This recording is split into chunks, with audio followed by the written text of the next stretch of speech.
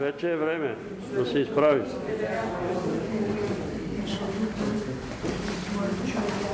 Господи, събрали сме в Своето свято име Исусе Христе, Сине Божий.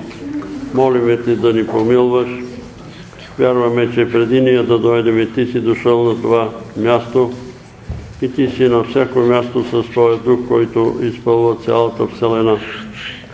Помилвай ни, прости ни, Господи, защото сме човеци и всеки ден се препъваме, всеки ден грешиме, всеки ден мислим разни работи и вношения, които Ти не одобряваш. Ние Те молиме, Господи, да осветиш това събрание с Твоето присъствие. Молиме Те за Твоята благодат, за хваление, за служение, за говорене, за слушане, и за изпълнение на Твоите заповеди. Господи, помилвай ни, защото колкото човеци има, толкова мнение има и затова Ти си ни дал Божието Слово да ни бъде еталон, с който да сравняваме себе си и да се сравняваме къде сме. Господи, молиме Те това Слово, което ще четем тази, този следове, този ден. Да се запечати в сърцата ни, и да го помниме и да го прилагаме и да постъпваме така, както е постъпил Твоя верен раб, дякон Стефан и устоял до край, за да може и ние да устоиме до край, защото изкушенията и съблазните са и от ляво, и от дясно, и от горе, и отдолу, от всякъде. Ние те молиме да ни опази, защото сами не можем да се опазим. Молиме ти да опазиш всички тия наши брати и сестри, които са в отеснение в чужбина. Където и да са, бъди с тях, помагай им, ръководи ги. Изцери ги, отеши ги, Господи, смили се за тях. Всички желаят техните синове, дъщери да ги впишем в този списък, но ти имаш един списък на небето и затова те молиме този списък, Господи, да бъде пред Теб а тези хора те молиме, Господи, да им помогне, защото от човеци няма да могат да намерят помощ. Такъв е Рачко с тумор в главата, такъв е Славчо с левкемия от Шумен. Ние те молиме за нашата сестра Здравка, която е редовна на нашите събрания, но сега не може да дойде, защото има много силни болки в главата и в краката. Помилвай я, благослови и сестра Нора, дай пълно и церение, смири си за баща и привлечи го към себе си и прибави го към спасяващите се. Молиме ти за Жана, 45 годишна майка, на двама синове от Ахелой. Господи, ти знаеш какво е състоянието и смили се за нея. Молиме ти за Мариан, 45 годишна на количка. Смили се за него, Господи, опериране в Русия. Сега те молиме, има малко подобрение, но те молиме да го вдигнеш от количката. Молиме те за Стилиан. 12 годишен младеж, болен от аутизъм. Господи, ти знаеш, че това е демон, макар медицината да твърди, че това е 6-7 раса, че те са много надарени. Молиме те за Красимир, завършила економика, 25 годишен младеж, болен от шизофрения. Молиме те за Николина и сестра и Натка. Молиме те за Йордан опериране. Господи, цери го. Молиме те за Николай и Теменушка. Молиме те, Господи, за техните дъщери. Молиме те за Елеонора, за Господи, Елеонора почина и премина, ние те молиме за нейния син Александър да се опомни, да се свести.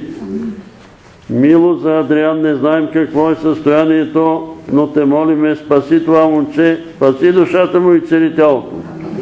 Молиме ти за Йосип от Израел. Има манинко подобрение, защото вика Алилуя и се опитва да ходи. Господи, укрепи силите му и цели го. Молиме Те за пълно освобождение на Димитър, за развързване на Атанаси на Димитър, за освобождаване на Любомила и Любослав.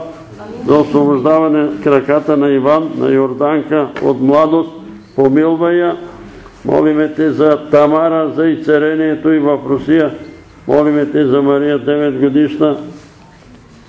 Господи, растат и зъбите вече, а млечните не са паднали, така се изкривяват, ние не знаем каква е тази аномалия, но те молиме, Господи, Ти да подействаш, така че млечните зъби да паднат и на тяхно место да излезнат другите. Мили се за баща и Мирослав, помилвай Штилияна, има операция на главата, майката на Мирослав, смили се за нея и помилвай я. Молиме те за Стоян, Даниел и Татяна. Помилвай и благослови този дом. Молиме те за стра Бойка, голямата Бойка, постоянна кашница я дави и церия от грипната епидемия и пазия. Помогни, Господи, да се възстанови милост за Илиан, който е в Англия и е съкратен от работа, помогни да си намери подходяща работа. Днеска обикалят и търсят някъде работа. Молиме те за Хавина, за здраве и благословение също в Англия. Молиме те, Господи, да благословиш и ти отново те молиме за Рачко в Париж и за Слачо в Шумен. Помилвай ги, благослови ги, помилвай ги, бъди с тях. Господи, милост за всички тия люди, които ги предлагаме тук. Молиме те за Красимир да му намериш подходящата работа, която да му е според желание на сърцето му и с радост да ходи на работа. Господи, смили се за брат Станков в Дупница и за църквата в Дупница.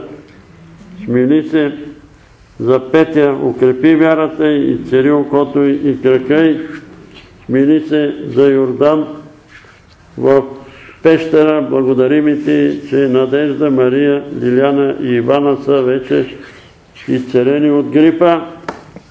Молиме те за брат Антонио, Господи, и цари бъбреците му, помилвай го, слава да бъде името ти. Молиме те за дечицата на Петър и Елмира, и е нападнала някаква алергия от папагалите. Ние те молиме, защити тия деца и опази ги. Господи, молиме те за Красимира от Невски Г. Има проблеми, желая да я посетиме, да се молиме за изцерението и тя може да ходи, може да ходи на църква, но и е далече да дойде до тука. Ние те молиме за всички тия нужди, които са ги наредили пред нас. Тия бележки, ти ги знаеш. После ще се молиме по-отделно за всеки един от тях. Благослови, помилвай Твоя народ, благослови, помилвай ни и нас грешните. Благослови домовете ни, опази ни от грипни епидемия, опази ни от настинки, от заболяване, от препъване, от падания. Опази ни, Господи, умовете и сърцата от грах и от лъжа. Опази ни от всякакво зло. Опази ни от лъже брати, от лъже христи, които се представят наистина като вълци, облечени в овчи кожи. Моля ти да ги разкриваш по всички църкви, които рушат църквата ти, Господи, разкривай ги Твоя народ да ги познава и да знае и да стои на страна от тях. Слава да бъде на името Ти, благодариме Ти, опази страната ни от природни бедствия, от катаклизми, от катастрофални земетресения. Молиме Те, Господи, за мир в Украина и Русия. Ето, събират се големците, надлъгват се, а самите те не вярват, че ще има мир. Ние Те молиме за този народ, Господи, имаме информации там за тия хора, че се молят, викат към Тебе за помощ, ние се присъединяваме към тях и Те молиме, Господи, за Твоето нареждане от небето. Тия, които искат война, явно не са Твой народ, макар да се кръстат, макар да се правят на християни, защото ти казваш, Исусе, царете и управителите на народите се занимават с суетни неща и мислят за войни. Това не ти е угодно. И затова те молиме, Господи, да благословиш ония, които наистина търсят мир за народите и за сиромасите. Смили се и не допускай и България да бъде въвлечена в такава страшна бъдеща война, която ще изтреби много народ. Но от друга страна ти казваш, че ще очистиш земята от това извратено и нечестиво поколение и искаш от нас и народа ни да се каеме и да викаме милост Господи. Грешници сме, помилвай ни, прости ни греховете, очисти ни от всяка неправда. Господи, помилвай ни, Исусе, бъди с нас и в нас, души святи. Благодариме Ти, славиме Ти и Те величаеме, Свята Троице, поклон на името Ти. Амин. Може да седнете.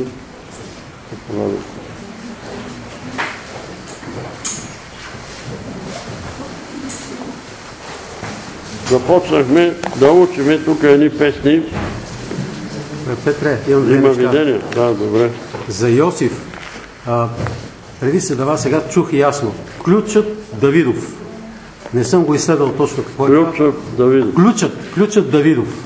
Еми, Има там един стих, че на рамото ще бъде ключът Давидов, ама не мога да нищо да кажа. ключа на Давид е съгреших пред Господа. Това е. И за мир в Украина и Русия, и миналия път ми се каза, ама нещо пропусна да го кажа, сега ясно ми се казва. Буквално братоубийствена война. Три думи. Буквално братоубийствена война. Ами това е истината. Войната е братоубийство. Руснаци ще се бият с руснаци, украинци с украинци.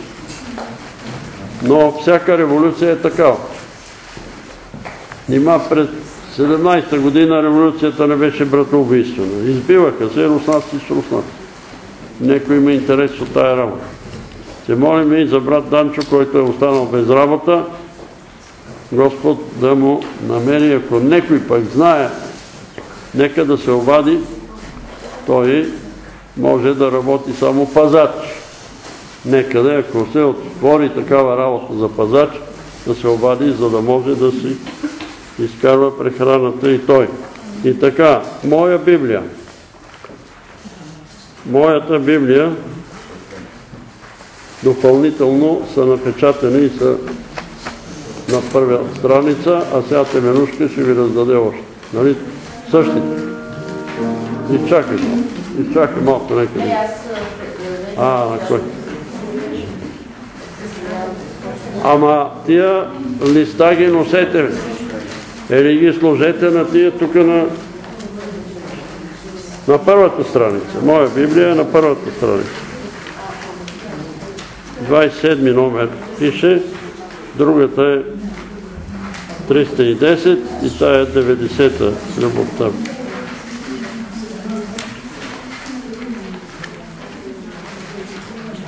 Нека ги разнесе.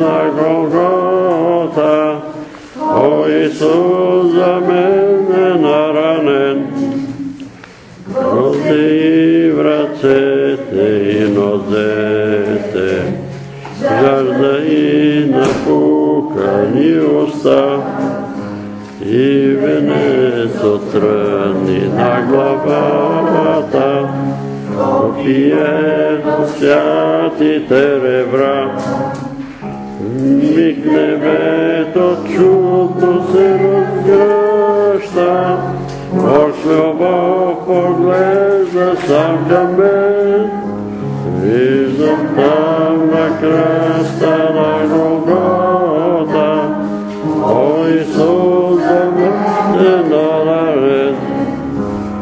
Боли рогът ни и подигравки, Слез от кръста, щом си Божи син, Дявола бе пусна всички клопки, но хвала Христос го победи.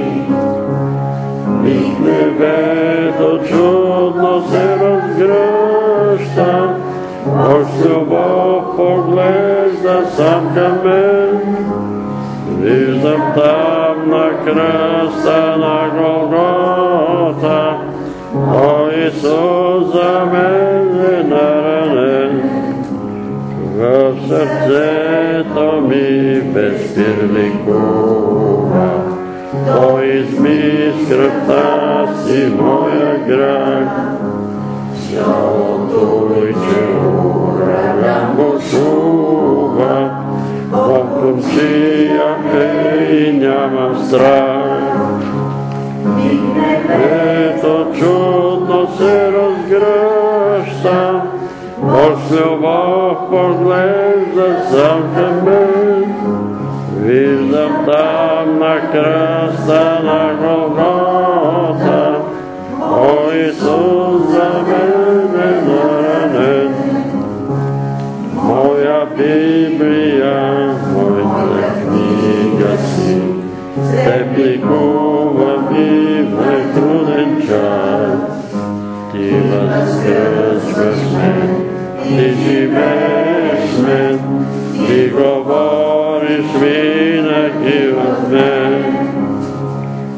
Сърдето чудно се разгръща, Бог с любов поглежда сам към мен. Виждам там на кръста на Голгота, О Исус, мен е наранен. Сигурно сте чували много пъти тия думи, че когато четеме Библията, тогава Бог ни говори. А когато ние се молиме, ние му говорим. И затова той естествено е оскърбен, когато не му говориме и не искаме да се молиме. И когато пък той иска да ни говори, па ние не искаме да го слушаме. Нали, всеки баща и всяка майка иска да каже нещо на детето си. То трябва да го слуша. Той не искам да те слуша. И това е масово явление сега между младите. Младежите не желаят да слушат баща си майка. Не искам да те слушам. Не ми говори. Не ми говори. И какво правят? Наскърбяват родители. Така и ние наскърбяваме Бога, когато не искаме да четеме Библия. Ами ние сме я чели Библията. Ми аз съм я прочел. Еми Бог ти е казал некога нещо и край вече. Баща ти като ти е казал нещо и вече няма да го слушат. Така че тая наша Библия да бъде наистина любима Библия и когато я отваряме наистина небето, да се разгръща пред нас. И да вярваме, че когато четеме тая книга, Бог ни говори директно на нас, не на комшията, не на тоя или на онзи, а това слово, което го четем, се отнася лично за нас, за мен. Така следващата на дървения кръст.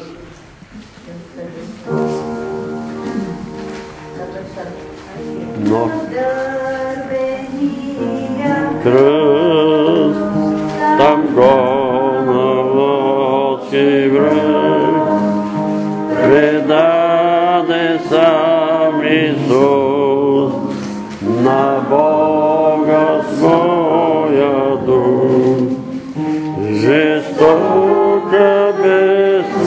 the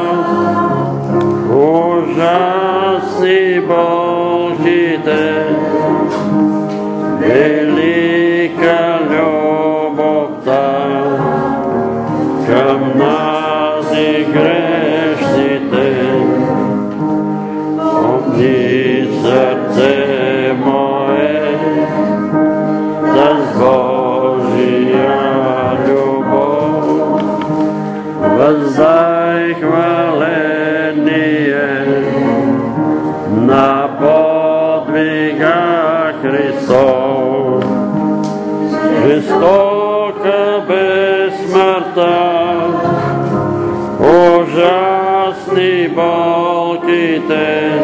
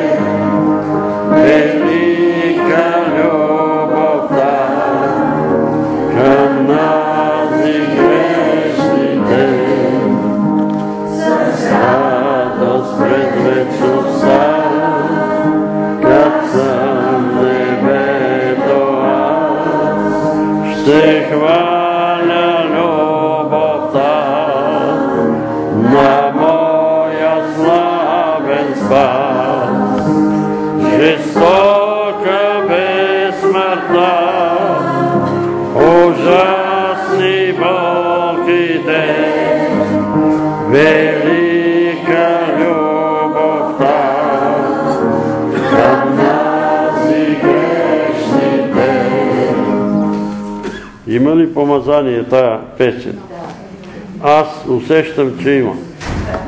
Макар, че някои твърдят. Ами това е от старите градски песни. Дали е стари или млади градски песни, песента е чудесна, защото прославя Бога, прославя Неговата смърт на Голгота и ние чувстваме, че душите ни се хранят и се насещат от такива песни, кой каквото иска да философства и да мадрува. Така, следващата е любовта Божия е.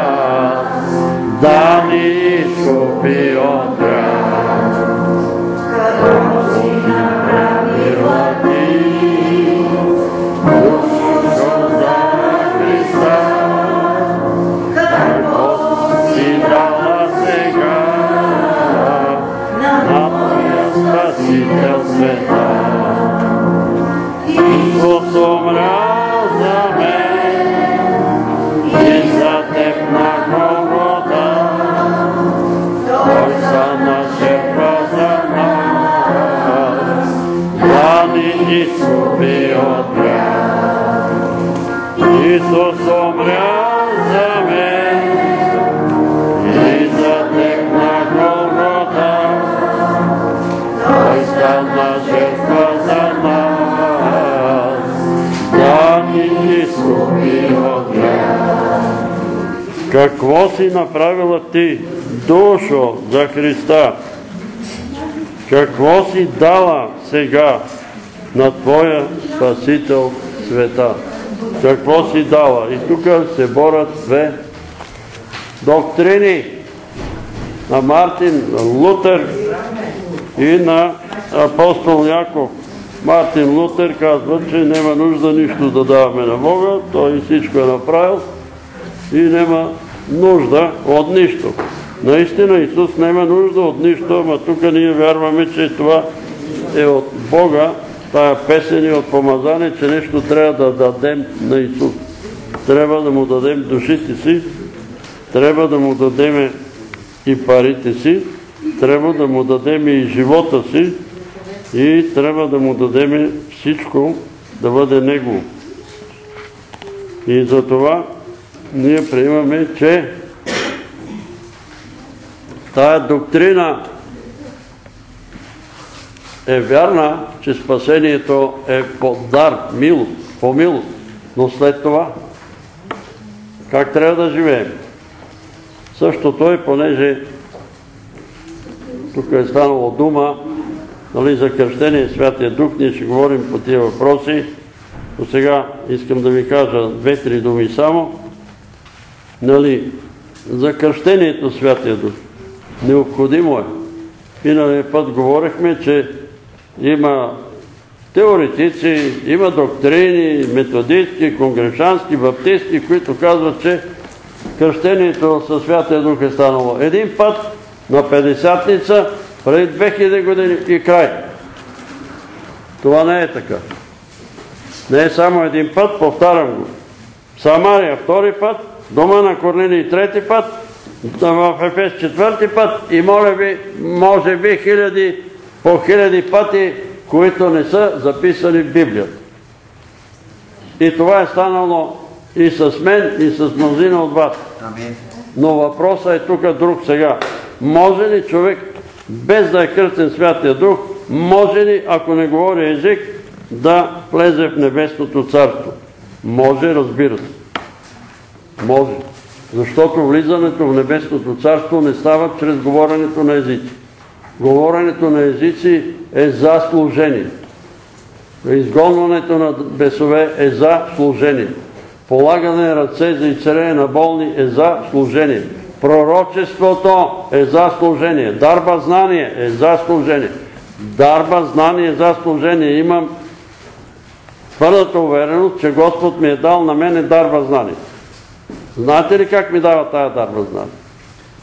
Срещам се с някой човек, който е болен и който трябва да се молиме за неговото изцеление. Предварително обаче идва негов приятел и роднина и ми разказва неговия живот. И аз получавам знание за този човек. И стоя срещу него и той ме лъже, че нищо не е съгрешил. А аз знам, че е съгрешил. Така идва дарба знание. по невидими пътища получаваш информация. Информация, която, ето сега за тази книга, нали, а, заблудите, ми се обаждам някой и казва, абе ти прочел си ги тия, откъде ги знаеш тези работи? Викам, не знам, ама ги знам. И съм ги написал. Дошли са при мен и аз съм ги написал. Получаваш знание. По същия начин и дарва мъдрост. Ето ние четеме за дякон Стефан. Бог му даде с такава мъдрост, че никой да не може да му противоречи от уния фарисеи, садокеи, завършени, нали, първосвещеници, а той е един обикновен младеж. Бог му дава мъдрост. Тая дарба е за служение. Това не те спасява. Спасявате кръвта на Исус. Жертвата на Исус. Вярата, че Исус Христос е умрал на Голгота на кръста и е възкръснал от мъртвите, ни спасява. Запомнете го един път за винаги. Дарбите не ни спасяват. Дарбите са за служение. За служение. Но отричане на дарбите не е мъдрост. Това е глупост. Да се отричат дарби, които Святия Дух дава. Ето, това е дарба на тия песни, които ние ги пееме и аз чувствам, че тия песни има помазание.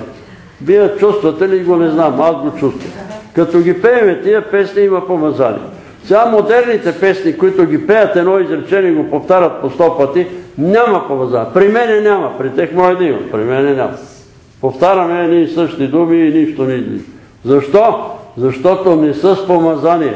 Написал ги е некой мъдър поет или такъв композитор ги е направил, но те са от Неговия дух, не са от Святия дух. А тия са от Святия дух. И затова ние сме напълно съгласни с брат Иван. Искаме не философии, искаме силата на Святия дух. Искаме това, което е от Святия дух. А той идва именно чрез тия дарби. И от първенето на дарбите мъдрост е това. Това е глупост. Ама дарбите били дадени само да се напише Библията. Това е лъжа. Запомнете го. Ако го чуете това, който и да ви го говори, кажете лъжиш. За написване на Библията. Дарбите са дадени до идването на Господ Исус Христос. Тогава ще го видим както е. И така, говоренето на езици е от Святия Дух. Ама можело да има имитации. Има, знам, че има имитации. Обаче, къде е дарбата за разпознаване на духовете в църквите, в евангелските църкви? Ще ви кажа един пример. Преди години, по времето, преди промените, една жена в Бургас се появява и почва да се моля за кръстение със Святия Дух. И тя почва да говори на чист френски език. И цялата църква ликува и казва слава на Бога. И тая жена почва да я водят по домашните групи, а тогава беха забранени домашни. Нали, мен са ме хващали в такива домашни групи и пас, а, не може да се скриете. Защо да се криеме? Ние събираме Божието име. Какво да се криеме? Какво да се криеме? И тази жена изловили чрез нея всички домашни групи в Бургас. И се оказва, че тази жена знае френски език. И тя се говори френски език. И къде беше дарбата за разпознаване на духовете, да разберете, че тая жена е фалшива, че тя е пратена от милицията тогава. Че тя е пратена от милицията. Затова, важна ли е дарбата за разпознаване на духовете? Еми важна, ама некои моли ли са за тази дарба? Никой не се. Защо? Защото мислим, че може и без нея. Важна ли е дарбата да се тълкуват езици? Много е важно. Много е важно. Много е важно. Но апостол Павел казва, желал бих всички вие да говорите езици. Ама желал бих. И Моисей каза също. Желал бих всички вие да бъдете пророци. Всички! Обаче не всички са пророци. Не всички са говорят езици. Благодаря на Бога казва, че говоря повече от вас. 14 глава 1 Коринтияни. И също там е записано. Всички ли говорят езици? Всички ли са пророци? Всички ли са учители? Всички ли са благовестители? Не са всички, но всички заедно сглобени правиме Христовото тяло. Затова желателно е всички да говорят езици. Обаче аз знам, казвам го пред Амвона, пред Бога го говоря. Костадинка Панова не говореше езици, отлетя с бели дрехи в небето. Отлетя бели дрехи в небето. Димитър Мишев не говореше езици от Конгрешанската църква. Отлетя в небето с бели дрехи. Отлетя в небето с бели дрехи. Еди, двама пастири от 50-та църква говореха езици. И знам, че отидаха долу в ада. И на два пъти ми беше казано, а за единия беше казано още на 4-5 души от църквата. Не можа да влезе в небето. Господ е много строг. Господ е много строг. На другия, не казвай, че съм, осъден. А на мене ми се казва, дойде един офицер, военен, явно това е ангел, някакъв власт, сила, с тъжен, тъжен глас ми казва. Той пишеше дописки против вас. Натежаха на везните, осъден е. Осъден е. И аз казвам, и дописки писали до вестници. Ако е писал против мене, аз му прощавам. Ти му прощаваш, ама Господ не прощава. Разбрахте ли? Може да говорите езици и да събудите в ада. Може да говорите езици и да отидете в небето. Може да не говорите езици и да отидете в небето. Може да не говорите езици и да отидете в ада. Защо? Защото на кого каза Господ Исус Христос? На тия, дето са от лявата му страна. Ама ти си проповядал на нашата улица, ние знаехме това, ние бехме пророци, ние имахме царителни дарби, ние говорихме езици, ние това правихме, ние извършихме чудеса, изцерени и знамения. Махнете се от мене, вие, които вършихте беззаконие. Които вършихте беззакония. Кои са тия, които вършат беззаконие? Ми, които нарушават Божите заповеди. Да, ама проповядва се по амвоните, че закона е закован на кръста и няма нужда вече от закон. Немаме нужда от закон, защото ние сме под благодат. Да, така е. Ние сме под благодат. Кои са тия, на които Господ им каза, махнете се от мен? Това са християни, които са били кръстени святите, които са говорили езици, които са имали пророчески дар, които са имали дарби на изцерение, които са ми дарва знание, имали се дарва мъдрост. Имали са ги. И са вършени блудства, прелюбодейства, лъжепророчества, кражби, а може и убийства. А може и убийства. И са ги вършили. Беззакония. Е, това е беззаконие. Как се освобождаваме от, а, закона?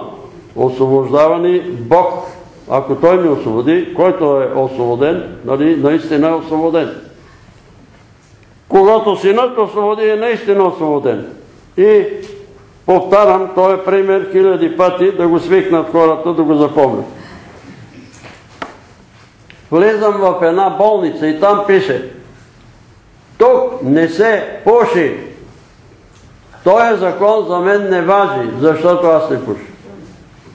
Този закон не важи, защото аз не пуша. Влизам в един манастир и там пише, тук не се прелюбодейства и не се блудства. И за мен не важи, защото не блудствам и не прелюбодействам. Това е освобождаване на закон. Или влизаш в казармата и там пише, тук не се вършат убийства. И за мен не важи, защото не съм убил никого. Обаче, ако ми кажат, убий тоя и аз го убия, автоматически ставам убиен. И нито дарбите, нито служенията няма да ви помогнат. Ще бъда осъден като убиец. Ставам убиец. Заставаш пред съда. И там ти казват, едно време така е било, сега не го правят, по света го правят. Служиш се ръката на Библията. Ще кажеш истината и само истината. Ще кажа истината и само истината. Ти видя ли го този човек да върши това и това? Видя го. Ако си казал лъжа, бъди сигурен, че всички дарби и служения да имаш, има едно слово, което казва можеш да се обзаложиш, че лъже свидетел няма да остане ненаказан. Човек, който е лъже свидетелство, ще бъде наказан. Господ не се церемони, той си изпълнява слово. Той си се, не дейте да спите на тая възглавница, аз говоря на език и сега може да си правя какво си искам, да блудствам, да лъжа, да крада, да грабя и аз съм в небето. Не си в небето. Още не си в небето. Кога ще отидеш в небето? Когато устоиш до край. Исус Христос го казва, не Петър Вел. Когато устои, който устои до край, той спасен ще бъде. За другите не може да се каже. За никой не може да каже дали ще устои до край, защото едни са огънали лесно, други са се продали за пари и така нататък. И така, ние вярваме и проповядваме, че спасението е дар от Бога и то е чрез вяра. И миналия път говорихме, че тая кръв се пролива за мнозина, но мнозина проповядват, че тя се пролива за целия свят. Така проповядват братята адвентисти. И в техни писания пише, нали, че тая кръв е пролята за целия свят и в съдния ден всички човеци ще бъдат спасени, включително и Юда Симонов Искариотски. Аз съм го чел това от текста. Вие така ли мислите? Ще бъде... Ами Исус казва по-добре да не се е раждал човек. Толкова голямо ще бъде неговото осъждение. Предаде, предаде Божия син. Ами ние като предаваме неговите братя, ако ние предаваме братята на Исус, не се ли отнася и за нас? Нали? Говориме езици, имаме дарби и Господ казва, не можаха да влезнат небето. И след това видях на, нали, аз съм ви казвал, разговарях с този Петър Димков, Бог му открил, че душите на осъдените се намират в туалетните, оттам минават маршрути, некакви и заминават зада, оттам минават. И пред една обществена туалетна имената на двамата пастири. Написани там и отдолу една ръка пише на този, за който аз се моля и Господи, смени се за него, който ми каза, нали, над близък, че е осъден.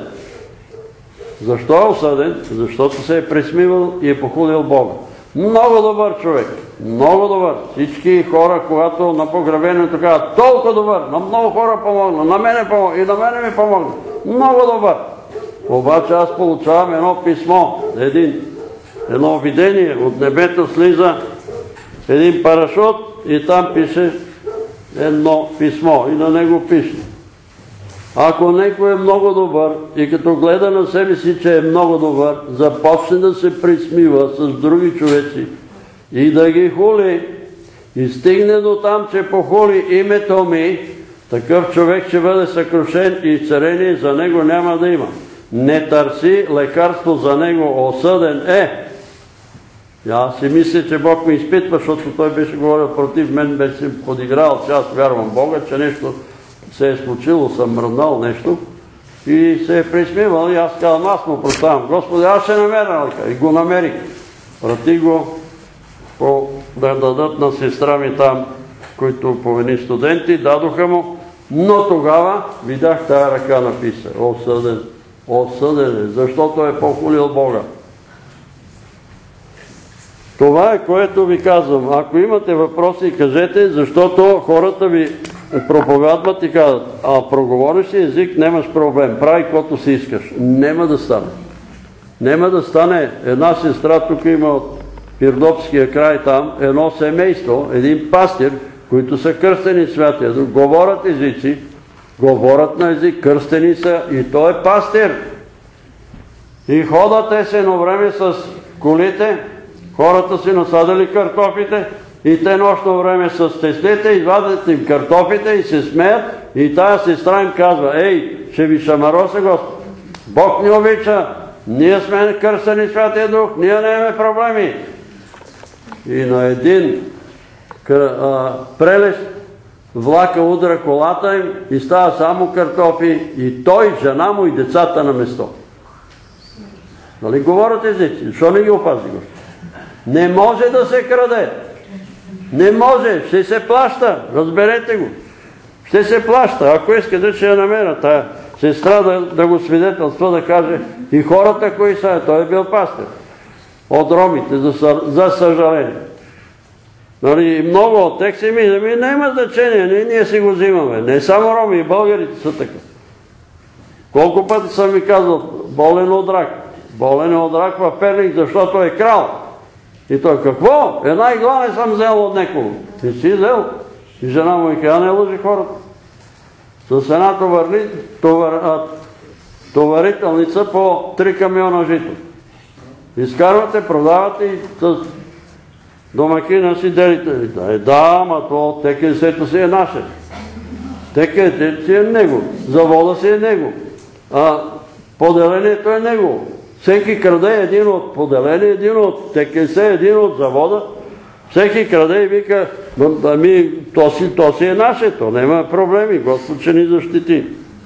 Няма да ни защити. Затова знам, обвиняват ме. Петър Велев е законник. Той говори за закона. Закона е съвършен. Така пише Библия.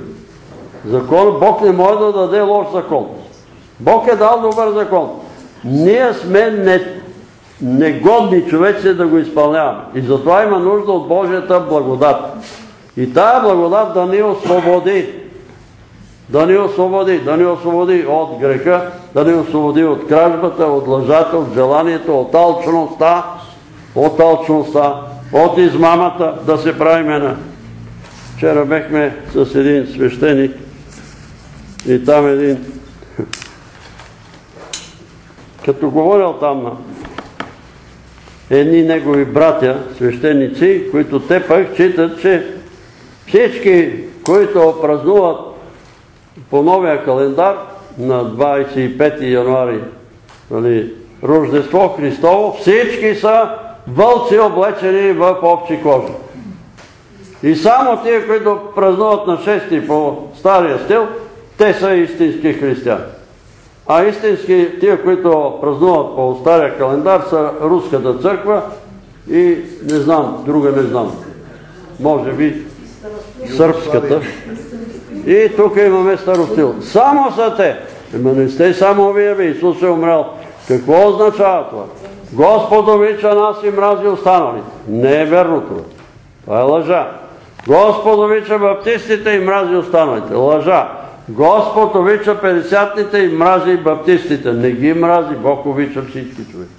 И Неговата воля е да се спасат всички човеци. Това казва Исус. Не е по волята на вашия небесен Отец да погине. Нито една душа, но всички да дойдат до покаяние. Ама да дойдат до покаяние, да не се правят на покаяние. На покаяние да си живеят. Ако почна да ви говоря сега колко примери, аз съм покаяна. Пиш ли седи кога? Спа. Какво си покаян? Ти си в грях, ти си жива умрел. Ти си жива умрела.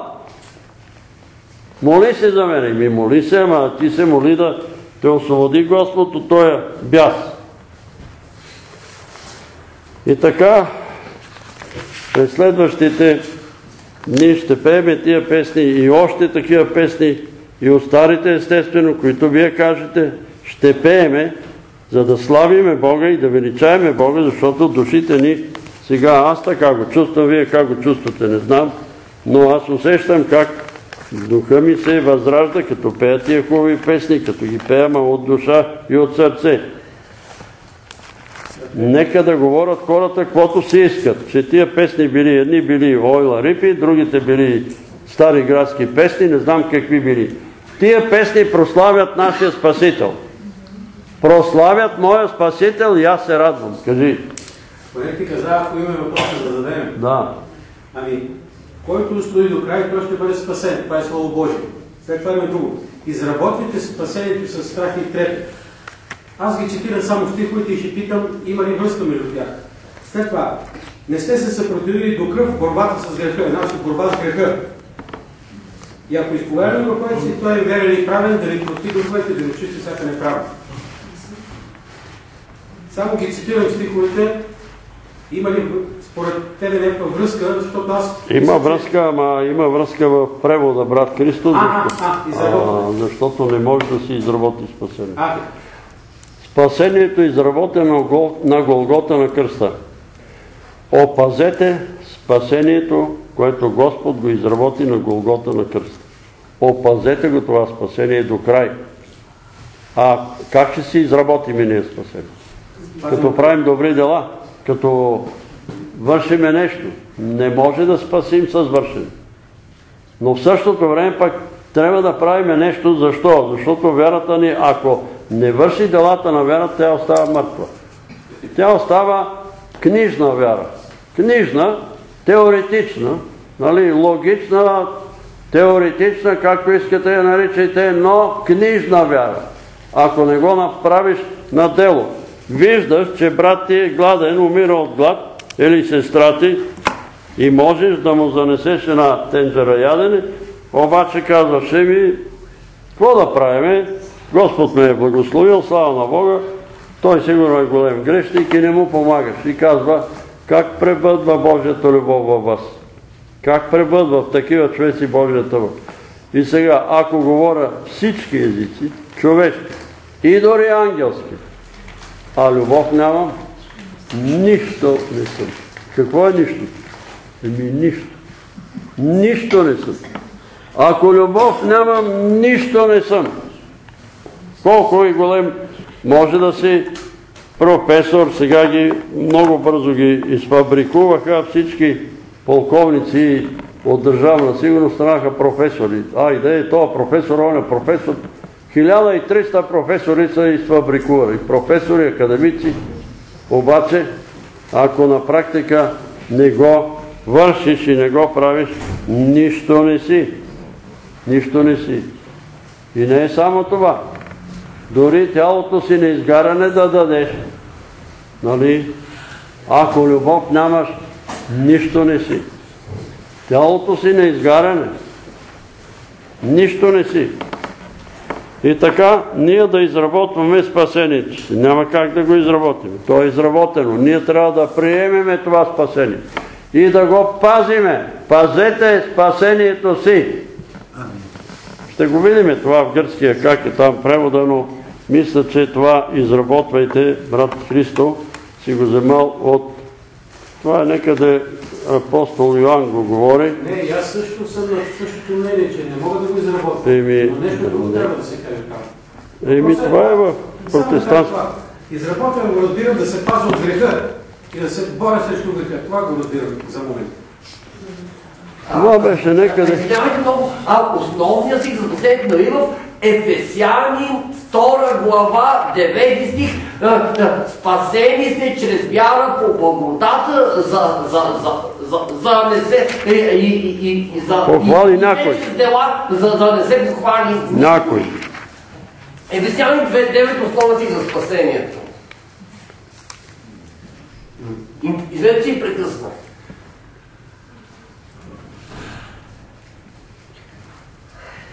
Всякой, който представя Христовото учение, не пребъдва в него. Нали? Кръстени с Святия Дух, но престъпвате Христовото учение. Нямате го...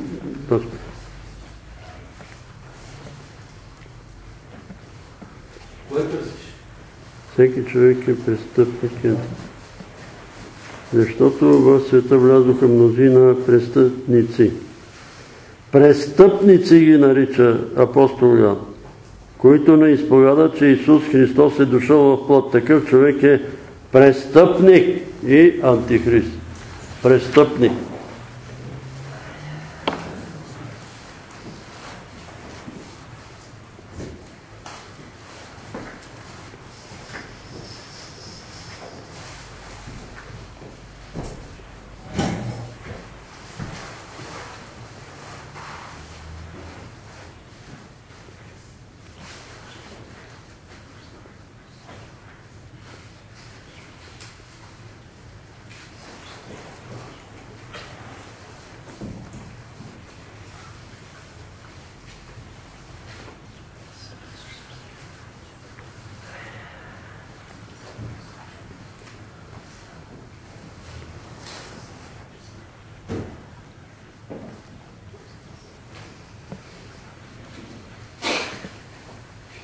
Ами некъде Йоановите послания, ама не мога да го намеря сега.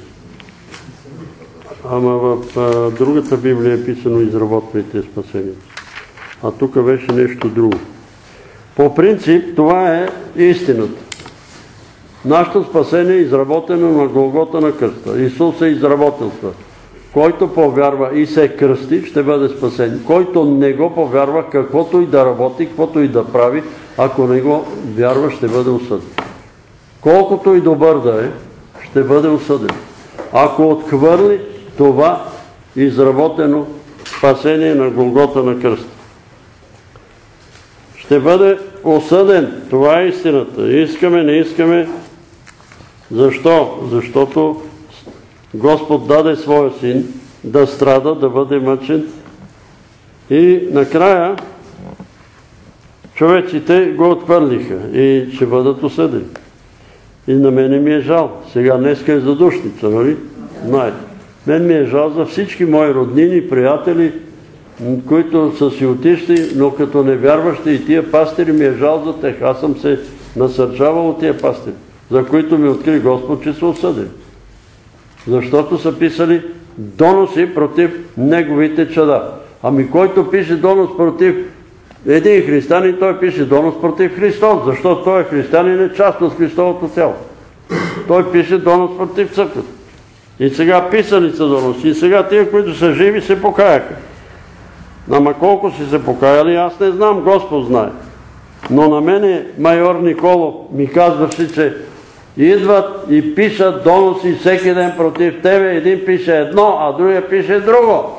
И аз не знам истината. Това ми го казва майор Николов от Държавна сигурност. И до сега нито един не е дошъл да ми каже, аз съм писал доноси против. Впрочем, извинайте, един дойде и ми каза, Георги, вика, аз съм мюсулманин и моята слабост са жените и за всеки донос против тебе получавам от 20 до 40 лева. И сега излезнаха тия тоя Народното събрание от ДПС, показаха им там доносите, че са получавали по 40 лева, са донасали на държавна сигурност. И те са в Народно събрание. И къде ще денат тия хора? И аз го вярвам, че майор Николов ми е казал истината. Пишат доноси против тебе. Некой, само той е дошъл, който каза, че е мусулманин и поради това е писал доноси против мен, защото съм оплащали от 20 до 40 лева. А онзи каза, че маса хора пишат доноси против мен.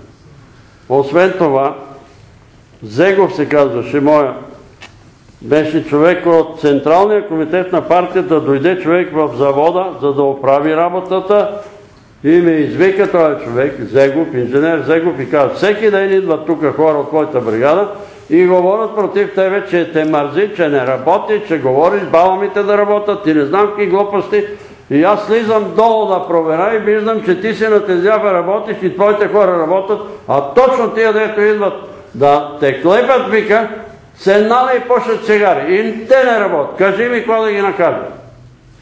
Кажи ми какво да ги накажа. Е, некой от тия да е дошъл и да ми ги извинява и аз писах донос.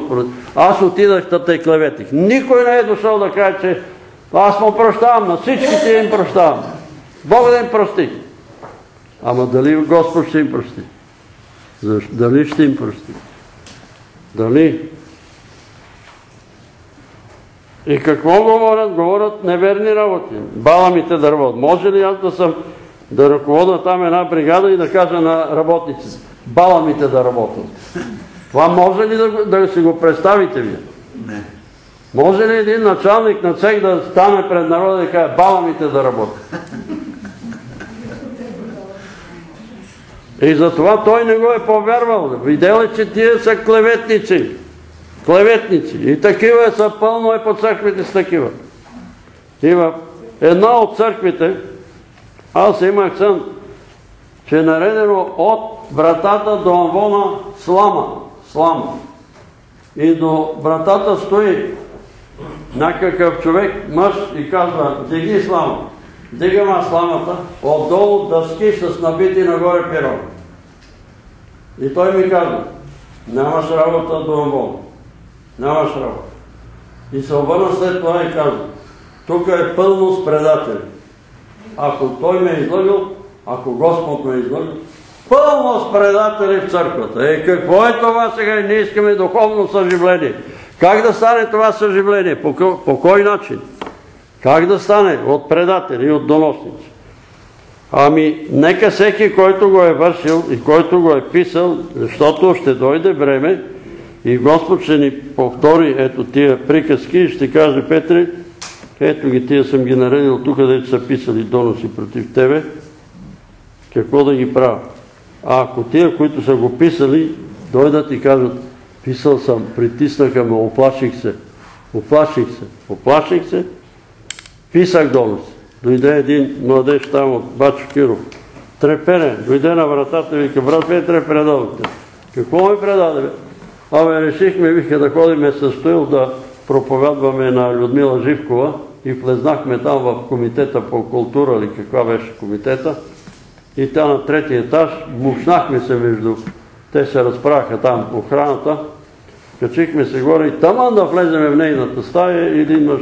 Ей, кои сте? Стой! Какво правите тук? Еми, ние сме християни. Какво правите? Искаме да говорим с другарката Живкова. Какво ще говорим? Ми да и благовествам. Какво ще и благовества? Явате тук, арестуваха ни, вика. Къде ходиш ти на църква? Еми, при Петър Велев. Кой е то Петър Велев? Ами, в Младо, къде живее? Младо с едно, блок 78, пети етаж, 37 апартамент. И идва оттам, идва дома. И плаче човек. Предадохте. Не бой се, бе, мой човек, бе. Не, не се предадеме. Те ми знаят и номера, знаят ми адреса, знаят ми и блока. Не се бой. Но той дойде и каза, предадохте, оплаших се и те предадох. А майор Николов казва, всеки ден идва да те клепат тук. И некой да се е покаял. И за това казваме, покаяние, покайте се, и всичките тия, които са били кръстени святия друг, дето са ходили там да клепат. И така ние продължаваме с седма глава от Деяния на светите апостоли.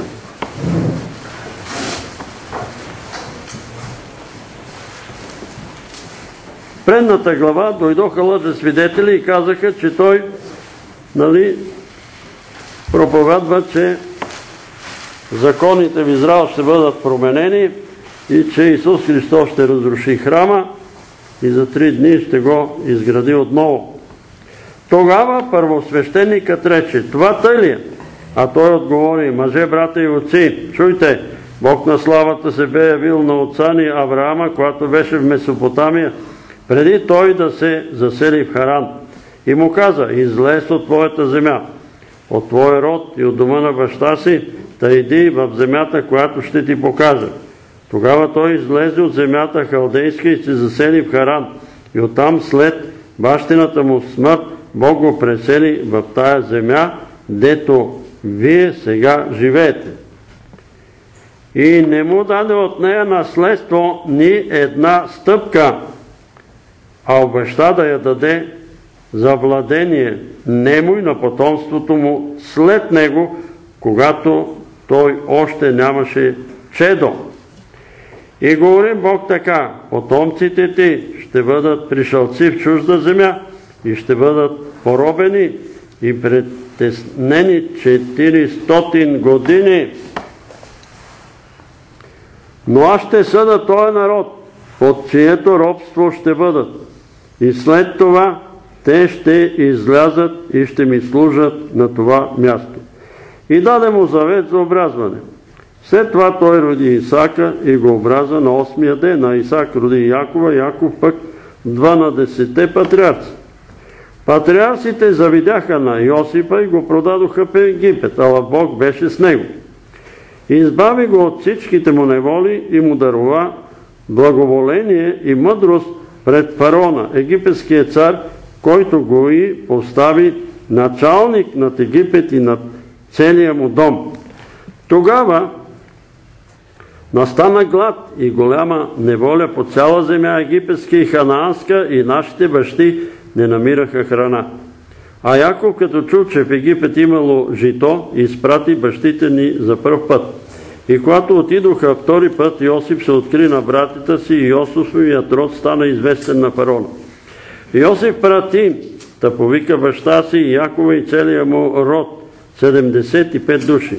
Яков слезе в Египет и се помина там, той и бащите И ги пренесоха в Сихем и положиха в гроб. що бе купил Авраам с сребро от синовете на Емора Сихемски. И като наближаваше време да се изпълни обетът, за който Бог се бе клел на Авраам, народът растеше и се умножаваше в Египет, докле дойде друг цар, който не познаваше Йосип. Той лукавстваше против нашия род, притесняваше бащите ни, като ги принуждаваше да хвърлят децата си, за да не останат живи. В това време се роди Моисей, който беше Богомил. Три месеца го отглеждаха в бащиния му дом и когато беше хвърлен, прибра го фараоновата дъщеря и си го отхрани като син. И научен беше Моисей на всичката мъдрост египетска и беше силен на думи и дела. Когато той навършваше 40 години, дойде му на ум да споходи своите братя, синовете Израилеви.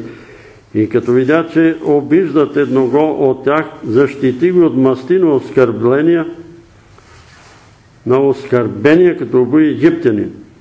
Той мислеше, че братята му ще разберат какво Бог чрез неговата ръка ще им даде спасение, но те не разбраха. На другия ден, когато някой от тях се биеха, той се яви и ги придумваше да се помират, казвайки, мъже, вие сте братя, защо се обиждате един други?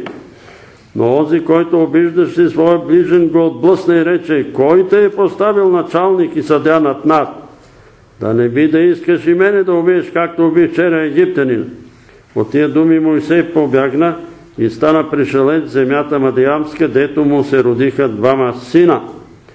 Като се изминаха 40 години, яви му се в пустинята на планината Синай ангел Господен в огнен пламък на една капина. Моисей като видя, почуди се на той видение и като се приближи да разгледа, дойде до него глас Господен. Аз съм Бог на твоите отци, Бог Авраамов, Бог Исааков и Бог Яковов. Моисей се разтрепери и не смееше да погледне, а Господ му каза, събуй си обущата от нозете, защото мястото, на което стоиш е земя свята. Аз видях, видях неволите на моя народ в Египет и чух стенанията му, та слязо да го избавя. И сега дойди, ще ще те пратя в Египет. Той е Моисей, когато те бяха отвърлили, казвайки, кой те е поставил началник и съдя, него Бог, чрез явилия му се в капината ангел, проводи за началник и избавител. Той ги изведе, като направи чудеса и да изби в египетската земя и в Червено море в пустината през 40 години. Това е онзи Мосей, който бе казал на синовете Израили. Господ Бог ваш ще въздигне вам, между братята ви пророк като мене. Него ще слушате. Това е она, който при събранието в пустината беше с говорилия му на планината Синай ангел – и с нашите бащи. Това е оня, който прие живи думи, за да ги предаде нам. И комуто нашите бащи не искаха да се покорят и го отблъскваха и се обърнаха с сърцата си към Египет. Като рекоха на Арона, направи ни богове, които да вървят пред нас, защото не знаем какво се е случило с тоя Моисей, който ни изведе из египетската земя. И направиха в уния дни теле и принесоха жертва на идола и се веселиха пред делото на своите ръце.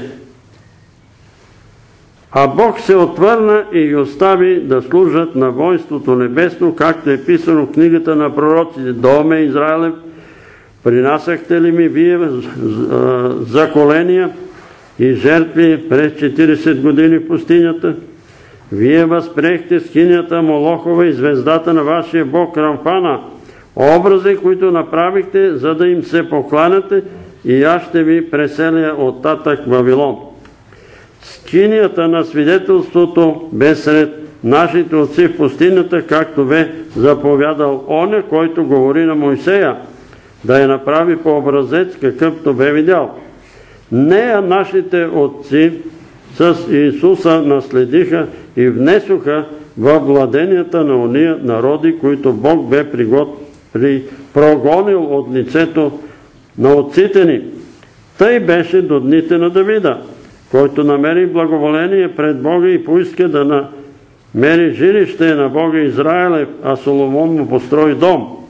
Ала Всевишния не живее в ръкотворни храмове, както казва пророкът. Небето е мой престол, а земята подножие на нозете ми. Какъв дом ще ми съзидате, казва Господ, или кое място е за моя, почивка. Нали моята ръка направи всичко това, твърдоглавци, необрезани по сърце и уши. Вие всякога се противите на Святия Дух, както бащите ви, тъй и вие. Кого от пророците не убиха бащите ви? Те убиха ония, които предизвестиха идването на помазинака, чието предатели убийци станахте вие сега. Вие, които приехте закона при служение на ангели, а го не го спазихте. Като чуваха това, сърцата им се късаха от яд и скърцаха за зъби срещу него. А Стефан изпълнен с Дух Свети и като погледна към небето, видя славата Божия и Исуса да стои отдясно на, на Бога. И каза, ето виждам небесата отворени и Сина човечни да стои отдясно на Бога. Но те като закрещяха с висок глас, затуляха ушите си и единодушно се нахвърляха върху него и като го изведоха вън от града, хвърляха камъни върху него, а свидетели служиха дрехите си при нозете на един момък на име Савел и хвърляха камъни върху Стефана, който се молеше и думаше Господи Исусе, приеми духа ми. И като коленичи викна с висок глас Господи, не зачита им този грях. И като каза това, почина. Амин. Така, Дякво Стефан е първия мъченик за Христовата вяра след Педесятница. След това са хиляди такива мъченици, между които е и Свети Валентин.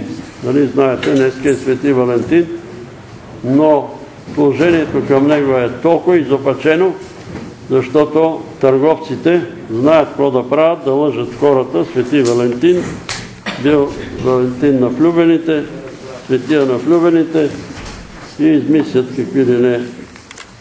Има, то е в първите векове, не се знае, но има някакви такива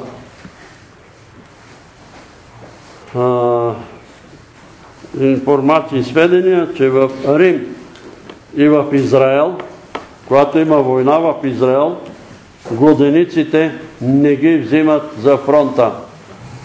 И Свети Валентин, за да не ги взимат за фронта за римската армия, е такива венчавал много млади хора, за да избегнат отиването на фронта. И така е станал такъв на влюбените почитан светия. Но има неща, които са, може да си ги прочетете в интернет. Вениамин Пеев е написал една статия, откъде е дошло нали, почитането. Имало е същата такава езически обичай през пролета да се поднасят подаръци от името на някакъв римски бог, който след това е препърлен към Свети Валентин или Венемин Пеев.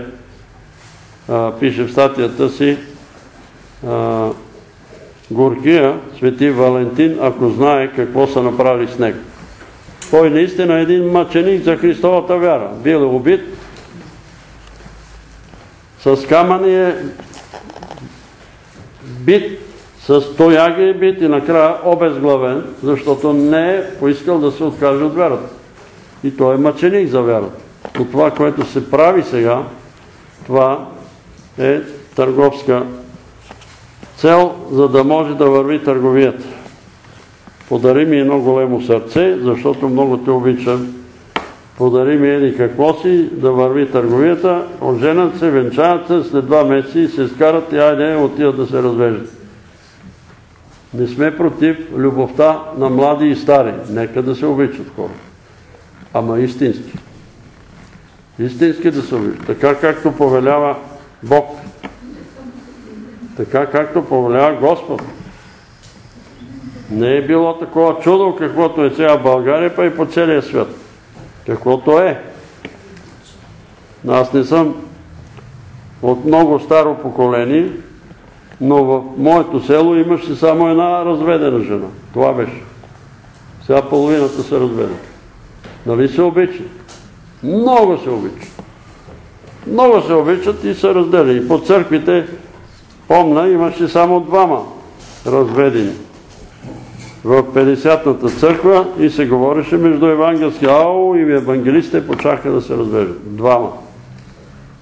За цяла София. Сега сами знаете колко много станаха. Защо така се получава? Защото любовта у мнозинството истина. Вие знаете от Библията, четете Библията и всичко това, което дякон Стефан описа, ние го знаем, че е така. И какво лошо каза, та го убиха с камък. Каза истината. Лошото беше истината.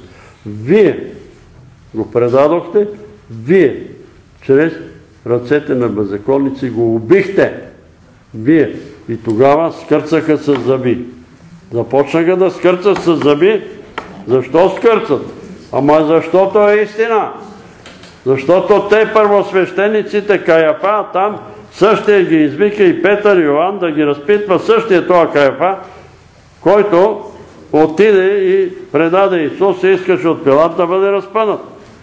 И продължаваше, видя, че Исус възкръсна. И сега той им казва, но Бог го възкръси от мърт.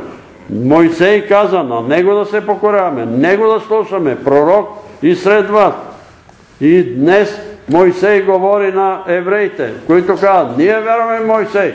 Добре, като вярвате в Мойсей, Мойсей е казал, Бог ще изстигне и сред вас един пророк като мене, него не да слушате, защото който не служа, той е пророк, Бог ще ми удири сметка. И затова, скъпи братя евреи и мюсулмани, които парадирате, че вярвате в Бога, ако не слушате Исус, Бог ще ви търси сметка. Които и комунисти да сте, и антихристи, какви ще да сте. Щом не слушате Исус, Бог ще ви търси сметка. Това е истина. Това е пророческо слово, изговорено от устата на Мойсей. А те Место да се засрамят, место да казват, ей, убихме праведни, какво да, ти ли ще ни кажеш, кой си ти? А го видяха, пената глава четем, лицето му и всички, които седяха в Синедриона, се гледаха в него и видяха, че лицето му беше като лице на ангел, лицето му свети. И сега тук споровете дали некой е видял Бог, дали е видял Отец, дали е видял. Еми ето, дякон Стефан е видял Исус. Как го е видял? Ама във видение. Ама видял ли го е? Видял ли го е? Или не го е видял? Какво пише тук си? Той казва, ето виждам небесата отворени и сина човечески да стои от дясно на Бога. Да стои. Ние в символа на вярата казваме и седна от дясно на Бога. А той го вижда, че стои. И аз съм го виждал да стои. Може да не вярвате, ама аз съм го виждал. Да стои, не да седи. Да стои до силата. Ето виждам небесата отворени и сина човече и да стои от дясно на Бога. А те какво направиха? Закрещяха и скърцаха за зъби. Не може да виждаш. Е, не може, ама вижда. Сега какво да прави? Защото те не го виждат. Когато Савел беше до Дамаск, силна светлина го ослепи и той ослепя, падна от коня на земята. Кой си ти, Господине? Аз съм Исус, когато ти гониш. Но тия, които беха с него, нищо не видяха. Нищо не. И те сега, нищо не е видял, той си въобразява. Той си е въобразил Савел, че е видял нещо. Е, нищо ме ослепя. И трябваше да отиде при Анани, да се помоли Анани за него. Анани го беше страх. Чувал съм Господи, че той преследва и гони християните. Иди, защото ми е избран със съд. Той има много да пострада заради това. За какво да пострада? Ми за това, че е тормозил християните. до това, че ги е гонил. При Бога нема ли си приятел, че на Савел или апостол Павел му е много мил и любим. Любим, нелюбим, щом си гонил християните, ще страдаш.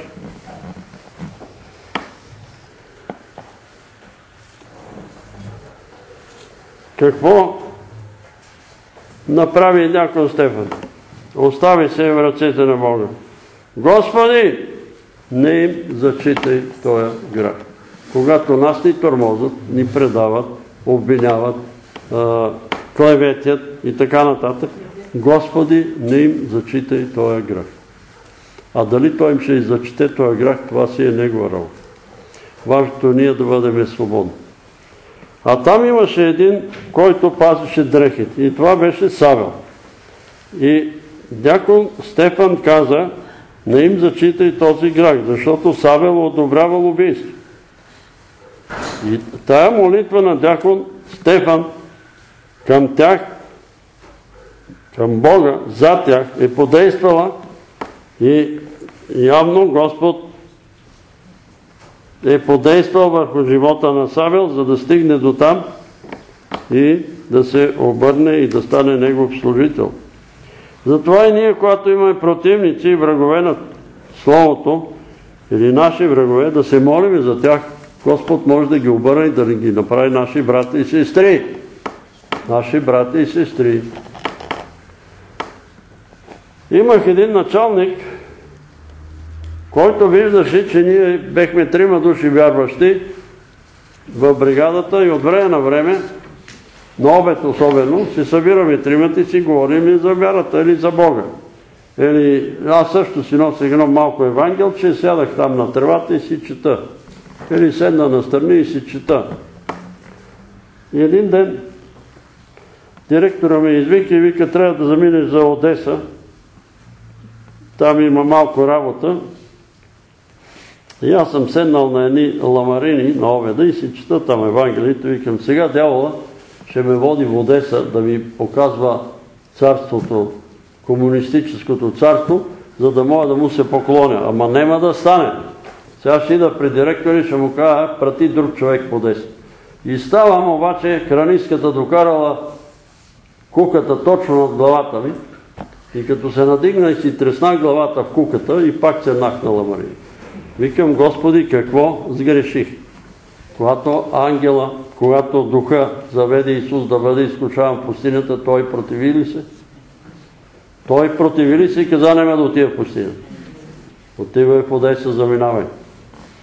Заминавай за Одеса. И така. А кой се противи? Необрезаните по сърце винаги се противат на Святия Дух. Те се противат на това, че Бог кръщава Святия Дух. Те се противат, че хората говорят на нови езици. Противат се. Не може да говорят езици. Това е от дявола, а това е хула против Святия Дух. Те се противат, че някои хора виждат видения. Противат се. Защо? Защото са книжници. Ето ги тук. Противат се. Защо скърцаха с зъби? Защото Дякон Стефан им казва, виждам небето отворено. Как така може? Не може да виждаш, ние не го виждаме. Ми нема да го видите. Вие сте с необрезани сърца. Как ще го видите? Не може да го видите. Ма той го вижда. Той го вижда. И виждам Исус отдясно на Бога. Щом като го вижда отдясно на Бога, вижда ли Бога? Вижда ли го? Еми виждам. И сега, апостол Йоан пише, никой никога не е видял Бога. Това апостол Ян го пише. В неговото постъп. Обаче в Откровението после, след много години, след като той вече е на 120 години, пише, видя го. Какво видя? Целия в свети, в светлина, очите му като огнен блясък, краката му като мед, претопена мед. И какво видя и какво чу. И сега ние взимаме един стих и си правим учение. Не може дякон Стефан да види Бога, не може да види Исус. Еми не може, ама го е видял. Не може, ама го е видял.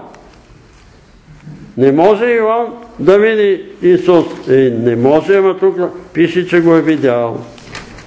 Нали, аз не съм го писал, той самия Иван го пише.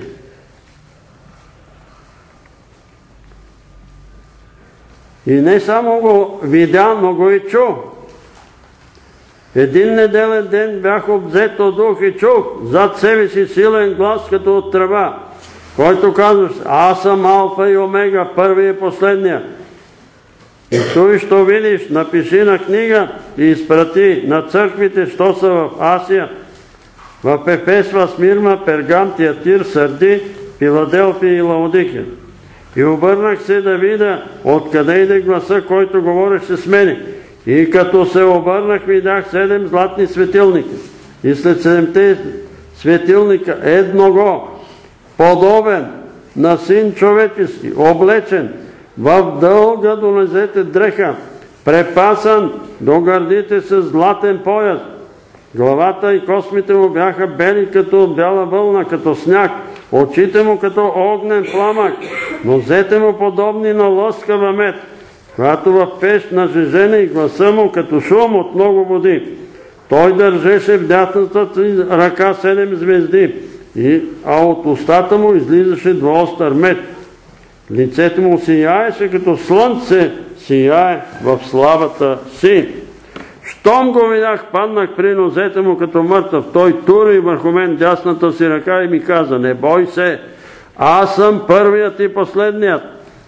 И живият, бях мъртъв и ето, жив съм во веки веков. Амин. И имам ключовете на ада и смъртта. И тъй, напиши, което видях, което е и което има да стане след това. И така нататък. Кой е той? Първи и последният. Исус. Видя ли го апостол Йоан? Видя го. Видя го. Ама той го е видял във видение, ама не знам как го е видял, ама пише, че го е видял. И е чул глас, като глас от много води. Кои са против виденията, които не са имали видение? Кои са против езиците, които не са говорили езици? Кои са против пророчество, които не са имали пророчество? Кои са против изцелителните дарби, които не са вкусили от изцелителните дарби? Кои са против дарбата за разпознаване на духовете? Тия, при които никога не е действала тая дарба. Те са против. А като са против, кому служат? На кого служат? На църквата или против църквата?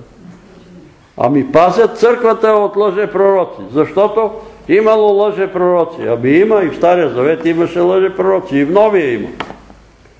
И да няма ли пророци, щом има лъже пророци? И да няма ли учители, щом има лъже учители?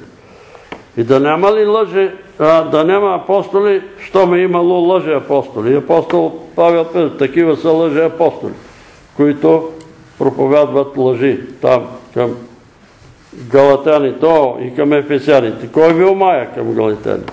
Вие, които започнахте с дух, с плът ли се усъвършенствате? С плът ли ще се усъвършенствате? Които с послушание на вярата. С послушание на вярата се получава Святия Дух. Обаче след като е получен Святия Дух, след като сме запечатали, как трябва да живеем? Как да се обхождаме? Обхождайте се като синове на светлината. Защото ако сте синове на тъмнината, къде ще се събудите? В тъмнината. Никаква гнила дума да не се чува между вас. Нито смехори. Нито смехори. Това е записано в епицианите, ако не се лъжи. Да не се чуват смехория по църкви. Хе, хе, ха, ха, о, Да, радвайте се. Радвайте се, ама как да се радваме? С пълна сериозност, страхопочитание пред Бога.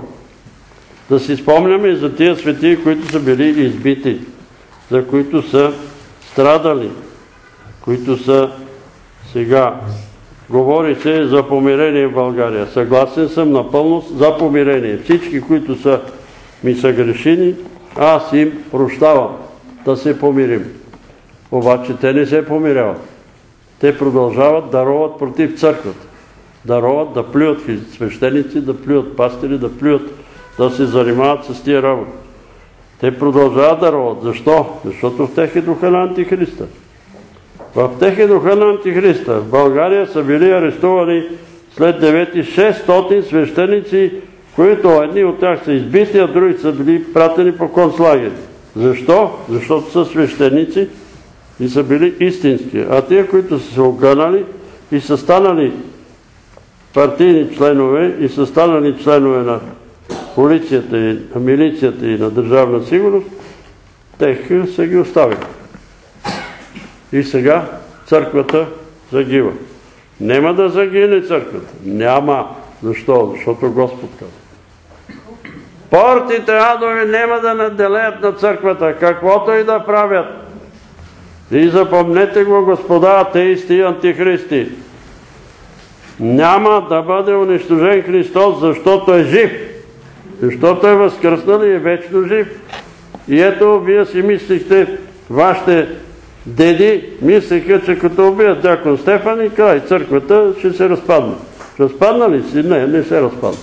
Като убият апостолите, разпадна ли? Не се разпадна. Като избият свещениците и пастирите, църквата в България загива. Нема да загине. Няма да. Портите адови няма да наделеят на църквата. Това са думите на Исус. Защото Исус е жив, а вие, господа атеисти, които се борите с борите с църквата, сте смъртни. Смъртни са. И Ленин е смъртен, и Сталин, и Хитлер, и Горбачов, и Путин, и той е смъртен, и той не е вечен. И той е смъртен. Ще чуете камбаната. Аз като дете татко Сталин. Какъв татко Сталин? И по едно време имаше точно на Орлов мост имаше един огромен паметник на Сталин, така казал една ръка. И по едно време гледам Сталин съборен там, хората ходят по него и пишат разни глупости с боя, с тебешир. До тук е друга Сталин. До тук. Грамаден. Култ. Култ. Който ще да е. Човек. Не си правете култове от нищо. Защото Господ е жив и търси сметка. И сега тия, които го убиха, си мислят, ами, не има значение. Има значение. Но какво да правим ние? Такива, които се борят. Да се молим за тях Бог да ги докосне. Съжалявам, че не за всички мои, които са се опочвали против мене, съм се молил, но се молих за един мой началник, който искаше да ме праща на този свят. Ще те прата при Твоя небесен Отец. Викам слава на Бога. Там да съм. Да не съм при твоя подземен небе, Отец. Но този човек мина време тук при пагона имаше една страянка, тя имаше между нас, отиване домашна група и го гледам, той до вратата. Викам, шефе, какво правиш? Ами дъщеря ми повярва, жена ми повярва и аз се предам. Той си премина. Но аз вярвам, че и жена му и дъщеря му са истински, нали, е, съпругата му също си премина, но дъщеря му остана твърда във вярата. Това иска Господ. Тия дето ни голят да се молим за те, да се обърнат. През седмицата бех в домове, където дедите са атеисти, партизани, генерали, атеисти. И какво да правим? Отричайте се от делата на дедите си и бащите си. А които са живи, говорете им да се покаят, защото аз не мога да променям Евангелието. Който повярва и се кръсти, ще бъде спасен. Който не повярва, ще бъде осъден. И тая мила сестра казва ми, Бог вика не е прав. Защо трябва да отговарят децата заради греховете, вика на родители? Не знам дали ти си права или Бог е прав. Кой е прав? Бог е прав. Ние се пазариме с Твореца и Господара на Вселен. Защо? Ами защото като внимаваш на живота си, детето ти няма да страда, а като не внимаваш, греховете ти ще ударат децата ти и внуците ти. И после гледаш внуците как пищат и ще си виновна ти и той, който не е обърнал внимание на живота си. Затова го е направил Господ. За да има страх от Бога и да не грешиш. Защото всичко се плаща. Затова много хората казват, не е право Господ. Той, който греши, него да го шамаросва. Той си знае какво да прави. Ти няма да го учиш и аз няма да го уча. Това е истината за Дякон Стефан и сега, светия ли е той? Ми светия. Кой от вас мисли, че Дякон Стефан не е светия? Защото има Евангелие. Откъде на къде те не са светии? А какви са? Какви са? Какъв е Дякон Стефан? Свят човек ли беше? Ами кой свидетелстваше за него, че е свят? Бог. Лицето му свети като лице на ангел. Бог свидетелства за дякон Стефан, че лицето му свети. Е, ние, ама той не е светия. Не знаеме дали е светия. Не знаете ли? Аз пак знам. И съм сигурен, че той отиде там, където видя видението. При тронната зала, при Исус и при Отец. Сега, аз съм е записал Стефания и в другите списъци ще се молим за тях. За тия хора, тук има и други.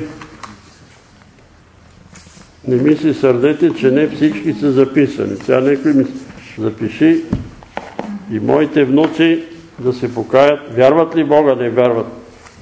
Не ми се сърдете. Тук записвам хора, които са по-тежки. Тумор главата, левхимия, рак и други. Починала е Теодора, за която се молехме тази Йорданка, която помагаше тук на брат Христо. Нали? Моля? Даниела се казва. Даниела, да. А нейната приятелка, тя живееше при нея. Тя ходеше на църква на Бачо Киро. Молихме се за нея. Ходихме там. Какво да ви кажа? Направихме отричането, но некак си, като че ли тия хора не го приемат от сърце. Не искам никого да съда. Ето и вчера и онзи ден бех така при такива сестри, които много знаят, приемат мирния какъв е това мирен договор. Ако го приемеш от сърце, ще бъдеш. А ако не го приемеш, няма да стане. Нема да стане. Ма ти ли ще кажеш? Аз не казвам, Бог го каза. Бог го каза и аз вярвам, че Бог ми каза на мене. Който от сърце сключи мир с небето, ще бъде изцерен от каквато и да е болест и рак. Който не иска да сключи мир с небето, няма да бъде изцерен. Няма, ама Бог е любов. Ама Бог е любов. Бог е любов.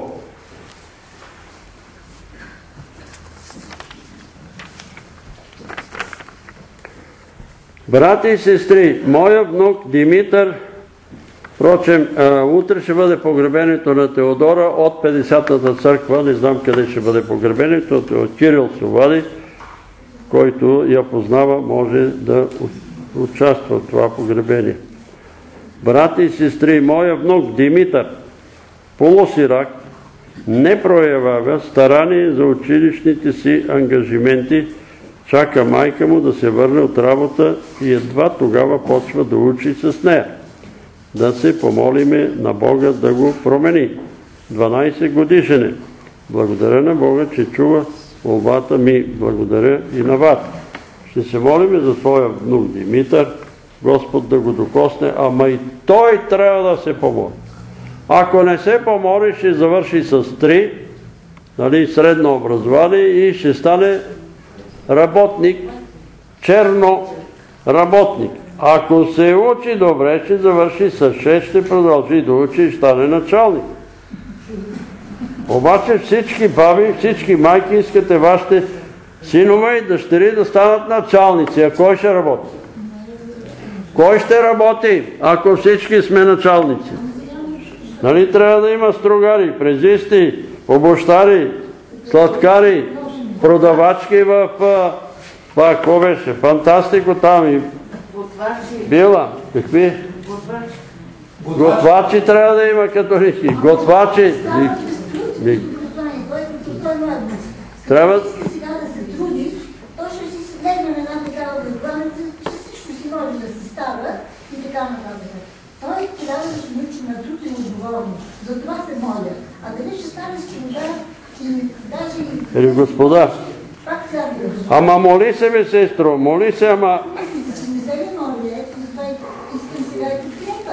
Ма той също трябва да се помоли. Ние колко пъти сме казвали този пример с свети Йоанн Крущарски. Едва е кретал с тройки и една нощ става през нощта и почва сам той да се моли. Господи, отвори ума ми, дай ми силна памет да завърша и завършва висше образование с пълно отличие. Пълно отличие. А е тройка же е бил. Защо? Защо Господ отваря ума на хората, дава силна памет, така и твоя внук, Господ да му даде силна памет.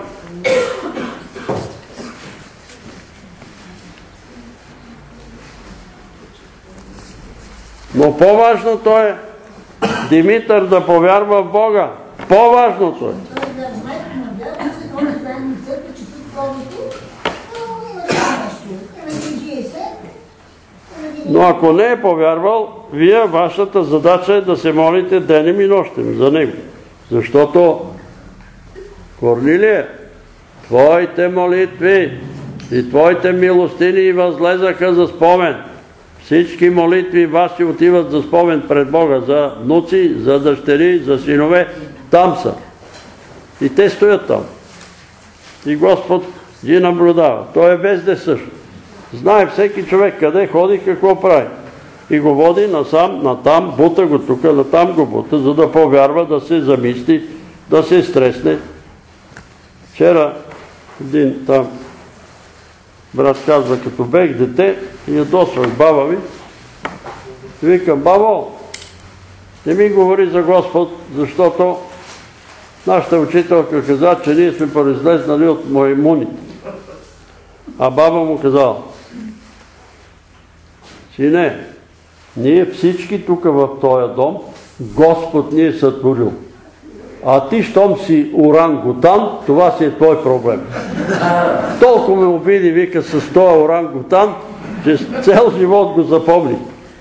Господ знае как да действа. Ти, щом си орангутан, вярвай си, че си орангутан.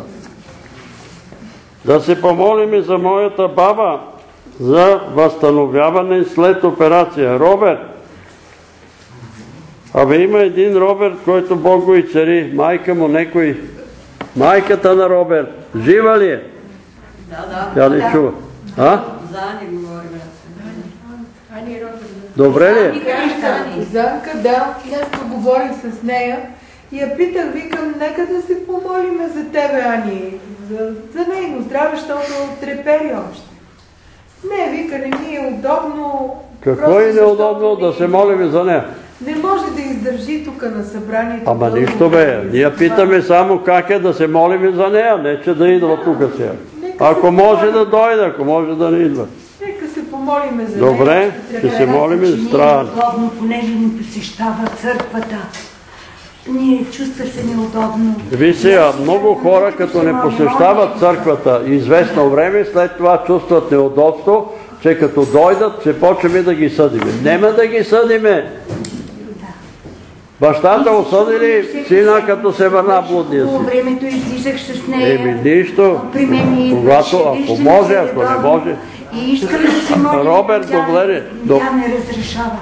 А защо, Бянка? Не ми е удобно, защото не посещавам църквата. Айде. Това и бяха думите. Е, значи ние да се молим само за тия, които посещават църква.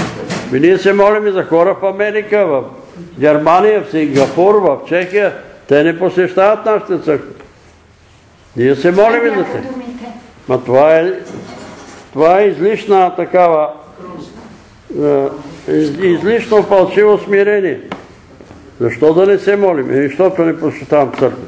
Защо да не се молим? Еми, защото не съм си дала вика десятък. Но никой не ти иска десятък, бе, сестро. Да се помолим и за покаянието на моя дом и род Станислав. За покаяние на Емил, Николай, Филип, Петър и Роси. Амин. Да покаянието на моя дом, свекърва и майка. Амин. Е, браво. За свекърва и за снаха. Да, се молиме за брат ми Красимир. Господ да го привлече по-близо и да промисли за подходяща работа. Амин. Да се молиме за отец Стефан, има болки в бъбреците. Милост Господи. Господи, благодаря Ти за това, че каквото мисля и върша, става единствено с Теб. Когато излизам, води ме, води ме прибирай ме. Да се укрепиме. Амин, алилуя, сестра в Господ. Живейте достойно за Христа, за Христовото благовестие, стойте твърдо в един дух и се сражавайте. Като един за вярата на, за вярата на благовестието, Филипяните 1.27. Да се сражаваме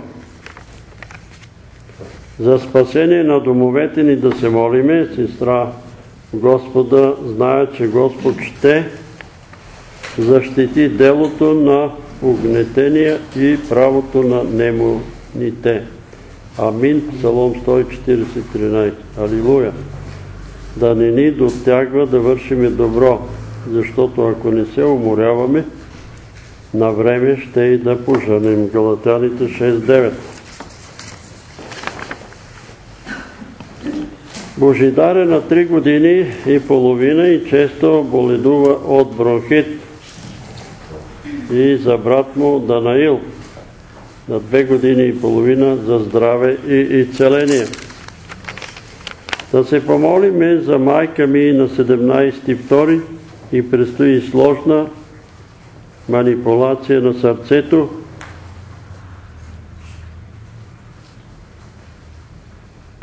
обла, обла, Аблация. През, през главната аорта.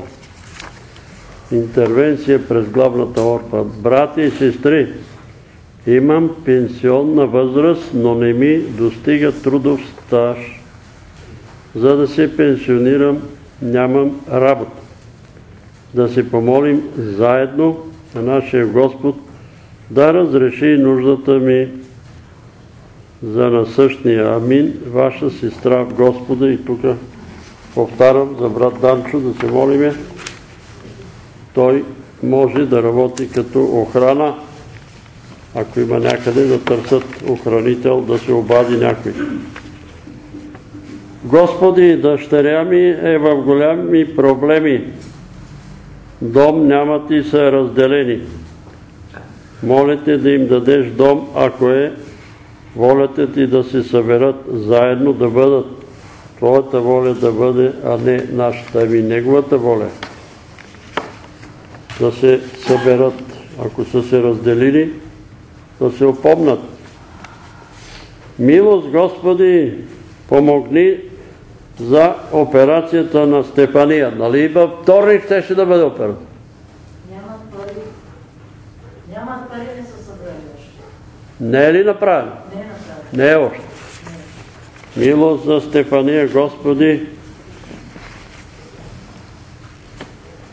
Моля те, Господи, за Симона, за работа, където е подала в чужбина, помогни да си намери работа.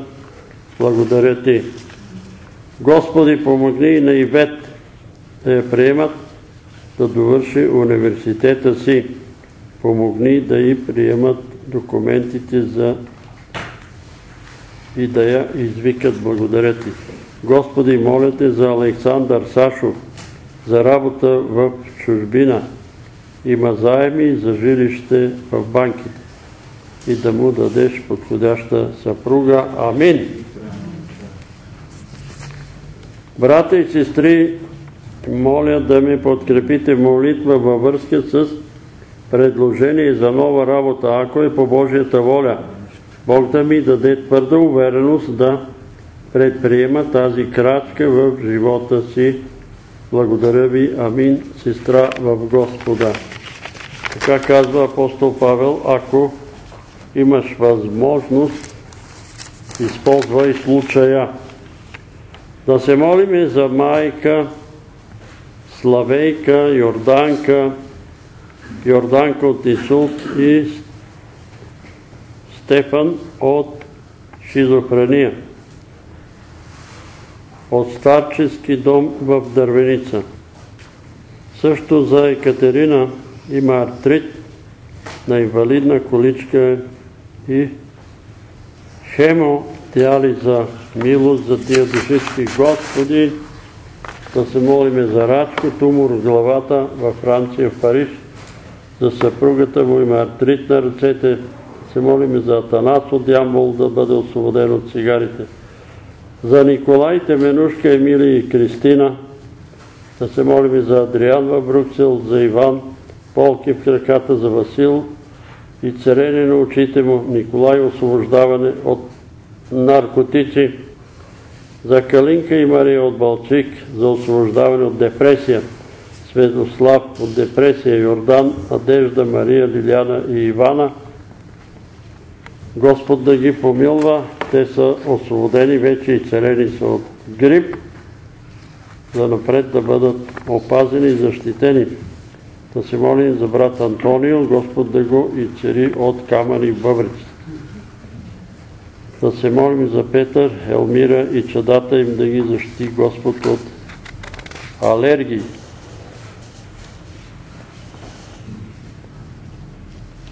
Да се молиме за сина на Пикия, Мартин, да бъде освободен, намира се в депресия. Да се молиме за Красимир от Красимира от Левки Ге. Тя вярва, че ако и положа ръка, тя ще оздравее. Ми да дойде тук. Ходи некъде на църква там, ма тук е далеч. Ще отидеме ще се оговорим и ще отидем и като ви кажем и свали тия книги от дома, сте, а, не, те са ми подарък. Не знам дали, дали е така, но в повечето случаи е така. Ако не можеш да се отречеш от една книга, да се освободиш от един предмет, от един подарък, на който е изобразен череп или сатана, значи си вързан за него. Ако не можеш, си вързан за него. Ако можеш, пърляш го и нямаш проблем. Да се молиме за Неджибе внуци и правнуци, за Розалия Васили Кристина, за Антуанета за краката й, за Петя за вяра и целение, за Теодора, тя е починала вече, за тая Теодора говориме, но ще се молиме за Теодора и Павел от къде беха те? Знаете ги, нали? Теодора и брат и Павел. Техната майка, която почина, ето още едно свидетелство, нейната дреха беше брилянтно бяла, светеше. Това беше една изключително кротка жена. Кротичка, така говореше кротичка. За съжаление, баща им окултист. И двамата имат проблеми. Защо? Некои не готуват. Ами да си имал баща му проблеми, да се имал, ама той идва върху децата. И които се занимавате с окултизъм, децата ви ще страдат. Така молиме си за Стефания, за предстояща операция, за брат Станко и църквата в Дупница, за сестра Здравка от пожурище, ето сядаше, има болки по цялото тяло. За норчето, за нора да се молиме за съвършено отшумяване на болките в стягането в главата и за съвършено освобождаване, но също така да се молиме и за нейния баща, който сега чува той знае, неговите дъщери са вярващи, съпругата му е вярваща, но той е член на партията и тая партия го е обезверила. Сега има проблеми. Господ да го привлече към себе си и да разбере, че тия в партията са го лъгали и че истината е в Евангелието. Да се молим и за всички такива наши сънародници, братя, българи, които ги е измамила партията и им е казала – Като вземем и ние властта, всичко е ваше. Всичко.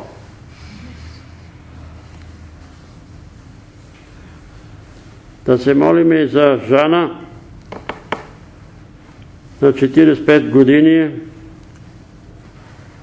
Има проблеми с здравето, болна от рак, от грак Ахелой. За Мариан на 45 години на количка опериране в Русия има малко подобрение Господ да даде победа. За Стилян 12 годишен аутизъм. За Красимир завършили економика 25 годишен младеж, но се е разболял от шизофрения. Тия шизофрении идват от окултните практики. Хората ги подценяват, че да на врачка, ще да на гледачка, ще идеш и като идеш. Като идеш, ето го резултата. Майката като иде на, гледачка и дъщеря и сина и се разболяват от. Да се молим за сестра Николина, сестра и Натка, която е болна в Тетевен. За брат Йордан, сега имаме няколко йордановци, опериране да се възстанови, да се молим и за Николай Теменушка и дъщерите им, Христина и Емилия. Да се молим за Йосиф от Израел. Сега брат Христо има ще откровение ключа на Давид. За Атанас да го освободи от цигарите и алкохола и Димитър да го освободи от страха. За Димитър за освобождение, за другия голямия Димитър също за здраве и царение, за Любомила, за Любослав. Да се молиме също така за Стра Йорданка от младост, търси човек, който да е водопроводчик, да й помогне да й оправи тръбите. Сега тя може да се сърди, ама поговорихме с Димчо Евгений, дойдоха при мене и сега е тъмно, друг път да дойдат. И сега какво да правим? Да се молим за Тамара, която е в Русия. Да се молим за Мария, това е дъщерята на Мирослав, който е в Германия, сега и ничат зъби. И тия зъби, които не са паднали още млечните и като ничат другите, отиват на криво, насам, натам. И то е момиче с криви зъби, да се молим тия млечните да паднат и другите да си... Ето за болекара ще каже нещо. Да отиде на заболекар да и махнат млечните зъби. Това е. Няма, няма Това е- никакъв това е проблем, ако е Да. разклатен зъбът, той ще ти падне. Той ще си падне. Да ги махнат тия млечни. Но искам да кажа на Ели, ако е тук, дето пищи от зъбите, нали, аз ви казах тук, че ние малко и се присмахме, нали, Количев каза, че има само един зъб. Обаче, викам, отиване за болекар, ама болия. И на мене ми се разклати тук един кучешки отгоре, почва да ме боли и аз казах там на една заболекарка, утре идвам при тебе, но чух по телевизора, че като имате проблеми с венците, прополис, челен прополис, разтворен в спирт, намажете си венците, намазах си венците и зъбите си стегнах. Брат Петре, Да, тя седеше тук. И аз, а, когато се представи нуждата, да. а, нали ти каза един резултат, тя ти каза тихичко, вика, това е пародонтоза, така ли се казва? Ама ето аз това и казвам, ако е тук. Мажи се с прополис. Тоя прополис пчелите запечатват, като хванат някоя а, бръмбара или нещо влезне в кошера, те го убиват и го убиват това прополис. Няма проблеми, не се разбрат. Знаят какво да направят. И почнах да си мажа венците, болеха ме, венците, нали, като ям по-корави работи, и венците ми минаха. Слава на Бога. Това го казвам като от телевизията го чух. Един там говореше за грипа. Сутрин и вечер си мъжете венците с прополис, разтвор от прополис. Грипните това бактерии се развият най-много в устната кухина. Ликвидира ги. Ликвидира ги и той е лекар казва, аз това правя, това се лекува. Вместо да давате пари за кашници и за антибиотици, това е естествен антибиотик, използвайте го. Нека и ели да го използват. На Мирослав ще му кажем да извадат тия зъби, те не и трябват на това 9 годишно. Той са млечни зъби. Може и с лайка. Да жабурат лайка може също. Също и лайка предлага Има за и болека. един препарат, не знам дали се произвежда още фитодонт. Също и с него. Ако е по 50 лева, май Не, той е. А, малък. Ефтина, не е скъп. Да се молим за сестра Татяна и нейните синове, Стоян и Даниел, Господ да ги докосне, да ги пази и да им помага. И ще се молим и за всички синове и дъщери и наши роднини, Господ да им помага. Сестра Бойка се обади, кашля, много жестоко се е разкашляла, но тия кашлици, нали, аз ви казвам, че понекога са и белези на сексуални духове отида да си взема пенсията, срещу мен една много хубава там служителка и изведнъж почнах да се задавя. Ма не ми е, да, не ми е удобно да й кажа, момиче, теб има сексуален демон. Ама е така. Той е дух атакува тия, които са около тех. Разберете го. Всеки сексуален грях отваряш врата за такъв демон, който да те дави и да те Гледайте там Дерек Принц, че той говори по тия въпроси и когато им раздава там пликчетата, почва да повръщат там пликовете, тия, които са вършили такива грехове. Да се молиме, не казвам, че Бойка за това ще е разкачена, но тя от един месец кашля. Се страви и тя кашля. Обаче това като им казвам аз за това прополиса, вика, а, прополис, аз имам антибиотик, та прополис. Абе, опитай го, бе. Опитай го това прополис. Антибиотик. Обаче не слушаме. Сестра ми, слава Богу, е добре сега, ама пак се закашля. Добре на време си закашля, Това е закиха. най-доброто. Ама сме вече и тя на 95, не 90, дай Боже и 100 да стане, ма на 85 години. 85 години и настиваме. Пазете се, обличайте се, палете печката сега там. Сестра Ваня да не прави економии. Тя не прави економия, ама няма кой да, я пали.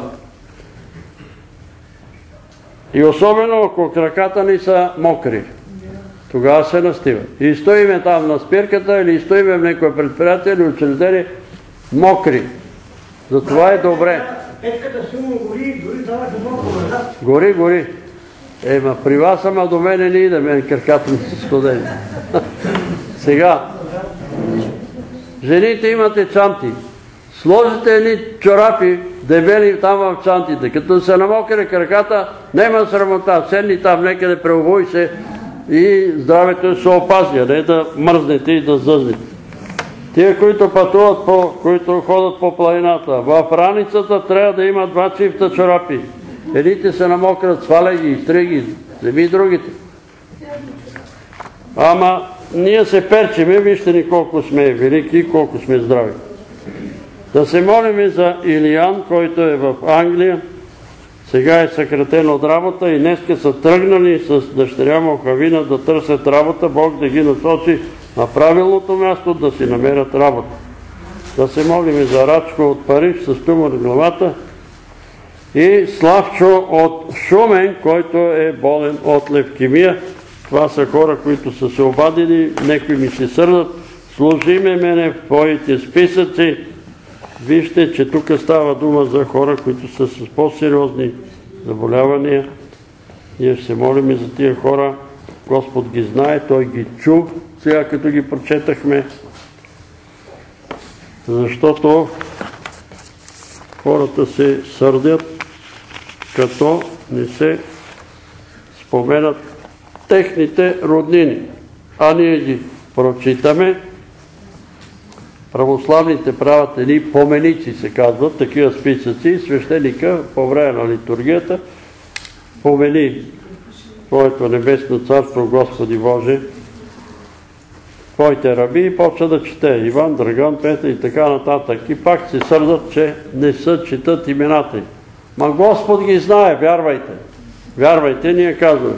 Синове, дъщери, братя, сестри, мъже, жени, бащи, майки, роднини, поплат, привлечи ги към себе си, докосни ги и цели ги, помилуй. Добре, ако некой има да свидетелства, да прослави Бога, имате думата, важно е да свидетелствате, защото като свидетелствате и прославяте Бога, това е угодно на Бога. Нека да прославяме Бога. Има ли такива?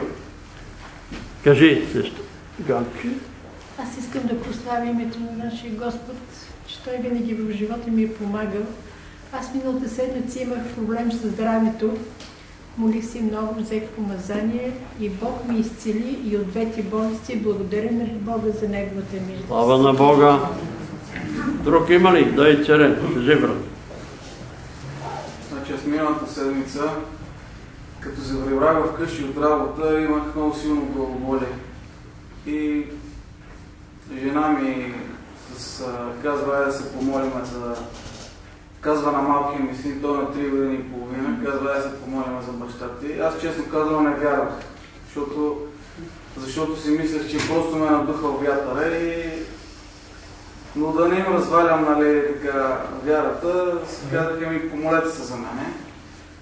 И докато двамата с жена ми се молиха, малки ми, сина и жена ми, нещо ми изпука в главата и ми мина главата.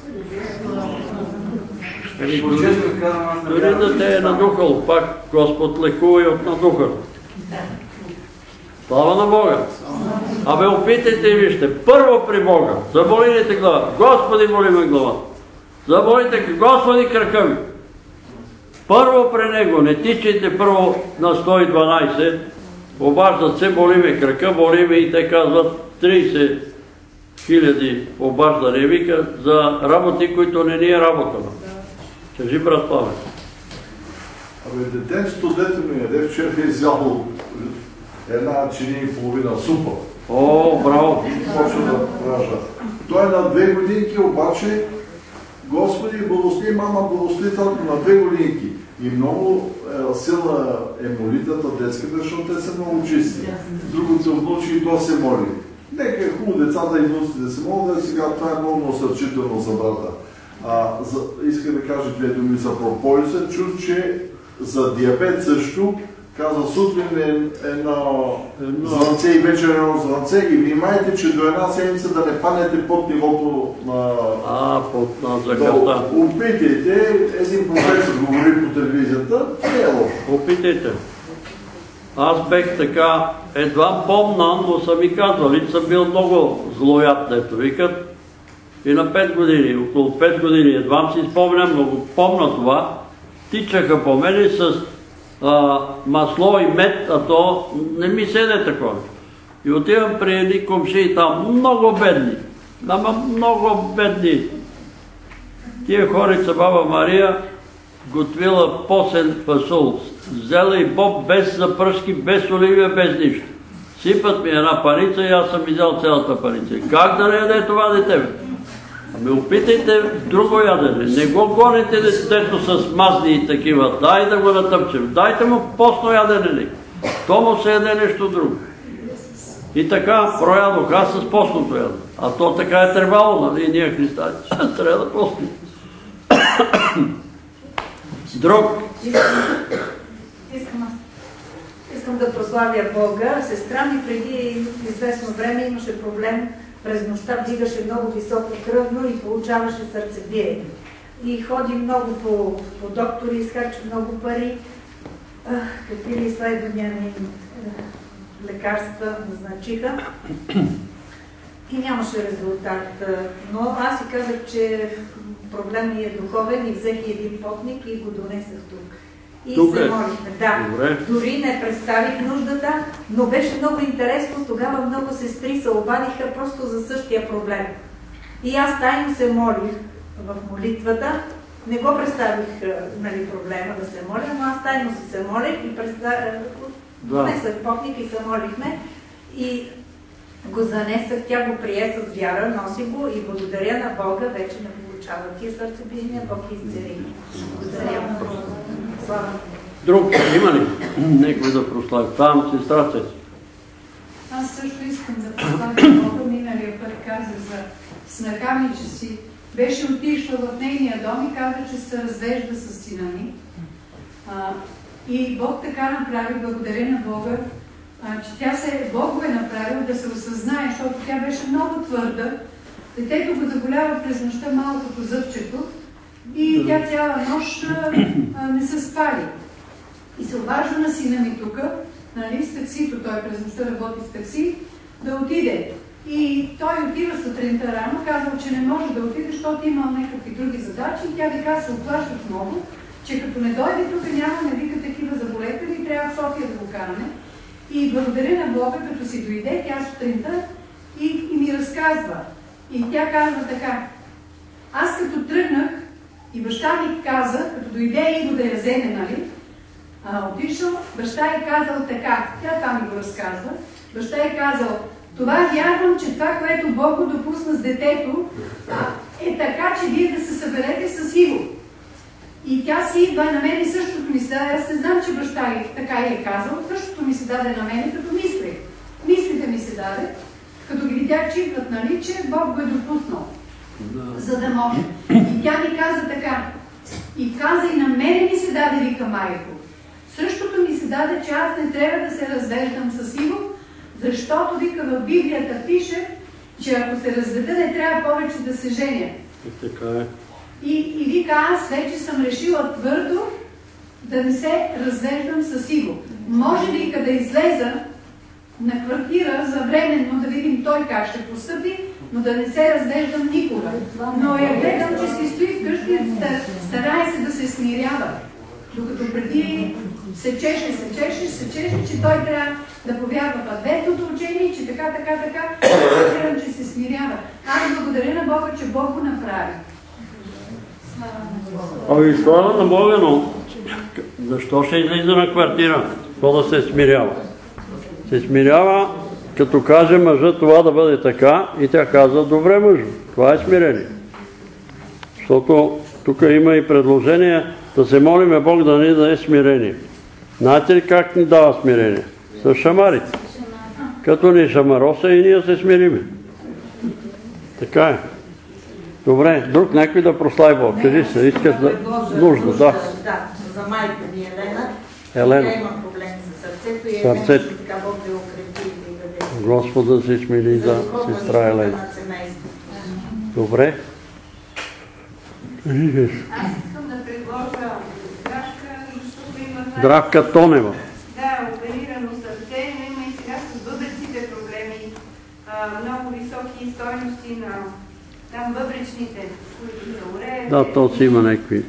Да, и да, да се помолим за нея и аз имам също нещо кръпа по ината и по мен. Това е и също за книгите да ми даде мъдрост какво да направя останалите от книгите. Останалите от книгите, Сила, сила. а? Сила да не съгрешаваме. да ти даде сили Господ. Да, Разберете го.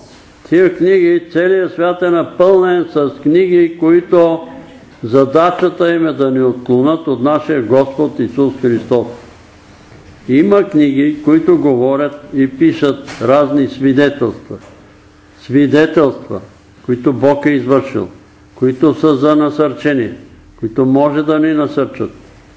Но през това 50 годишно управление на атеистите в България, дори и тия свидетелства са изопачени. Те са изкривени, изопачени и за това може да ме обвините, нали, че това е фанатизъм.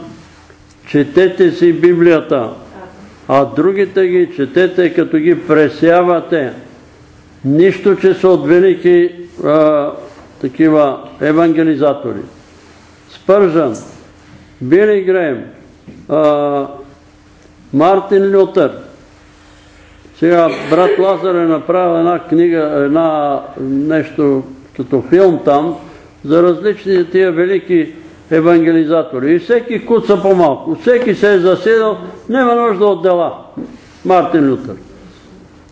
Другия обаче, спържан и някой там, той има нужда от дела. Има нужда от дела. А къде е истината? Еми истината е Библията. Отваряш Библията и гледаш Библията. Няма нужда от никакви дела. Е да, ама апостол Яков казва, брате, вярата без дела, каква е? Мъртва. Значи има нужда и от дела. Това, което го говорим и го вярваме, трябва да го приложим на практика. Иначе каква полза? Това полза от такава вяра.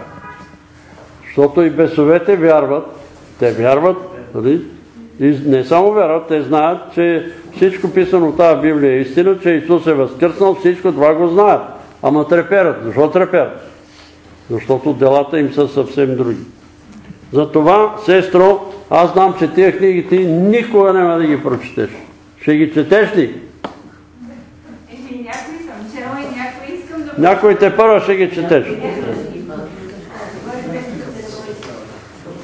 Очисти си къщата.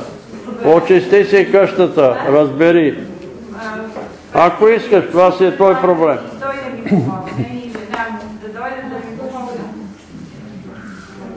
И да ги изнесат те там в техно помещение и оттам да ги продават. Еми ние ще се молим за тебе, лека по лека, защото ти не даваше нищо да се пипа, сега вече са останали, лека по лека да си очисти къщата. Защото не се ли очисти и в домовете ни има, има такива неща.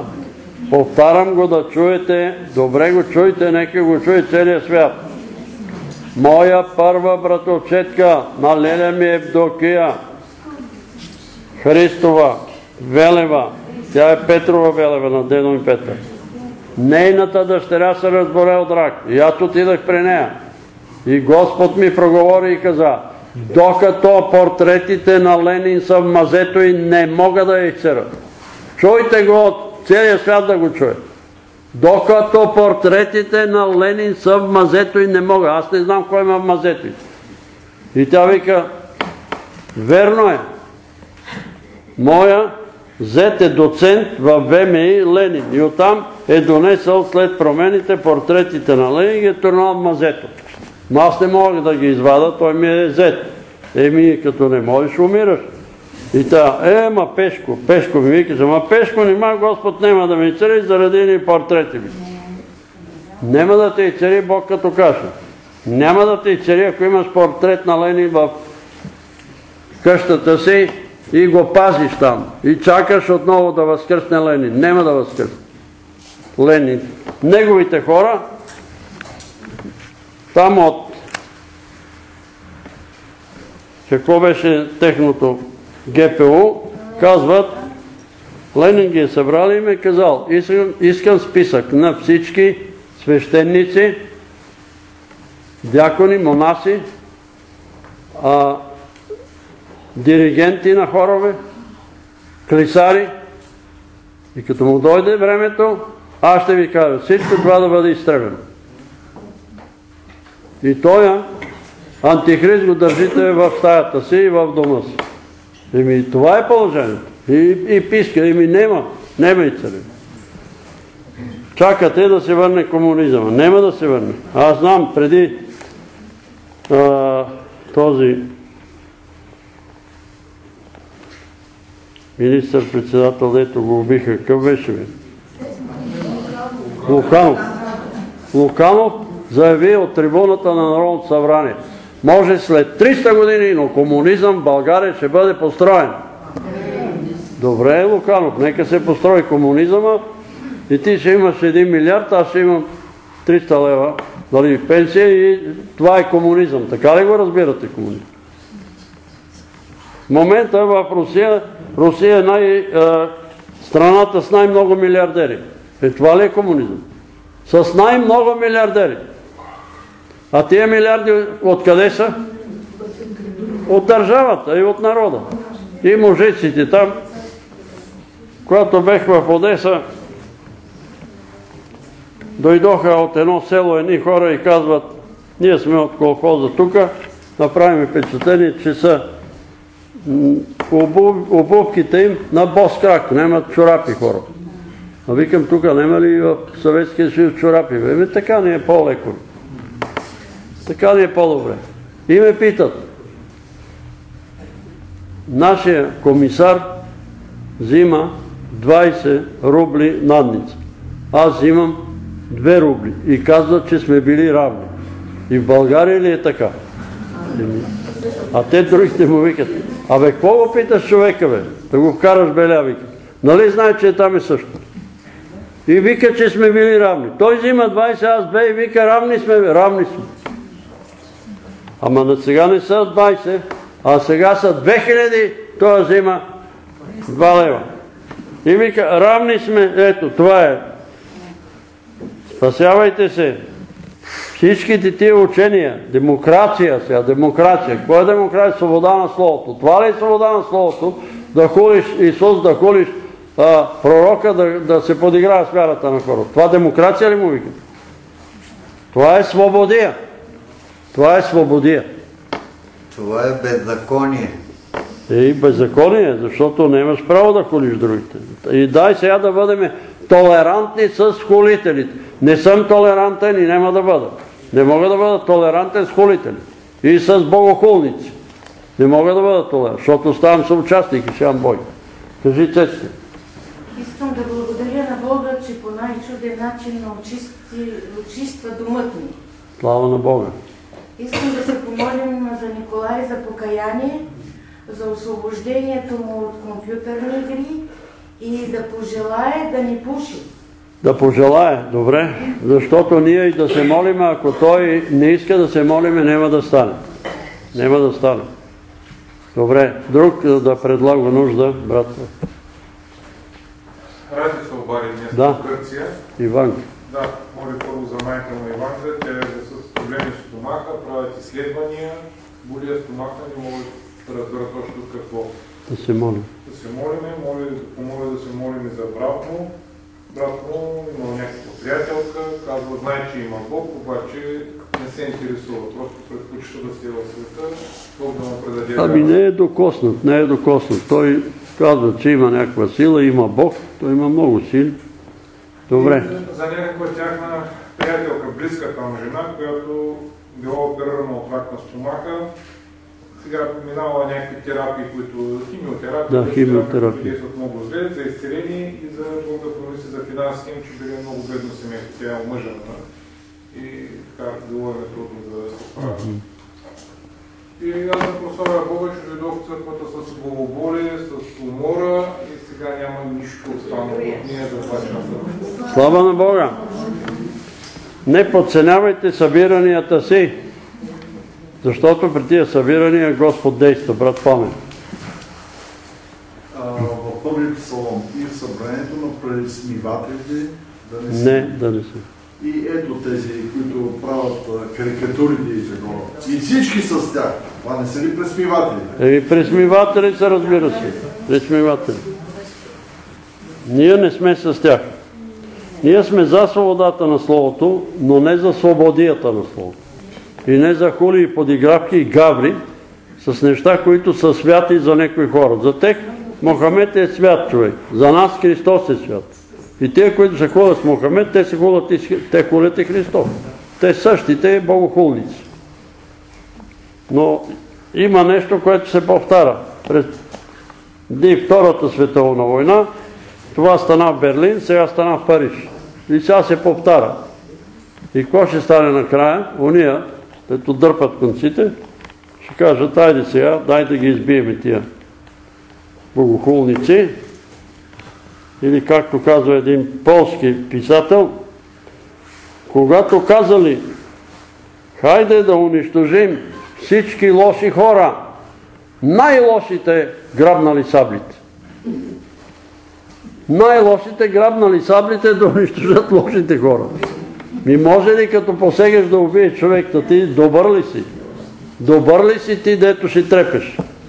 Гледах едно предаване по руската телевизия, се събрали някакви дядовци, старци, дават такъл на Путин. И един от те казва, какво значение има кой ще бъде победител в бъдещата война?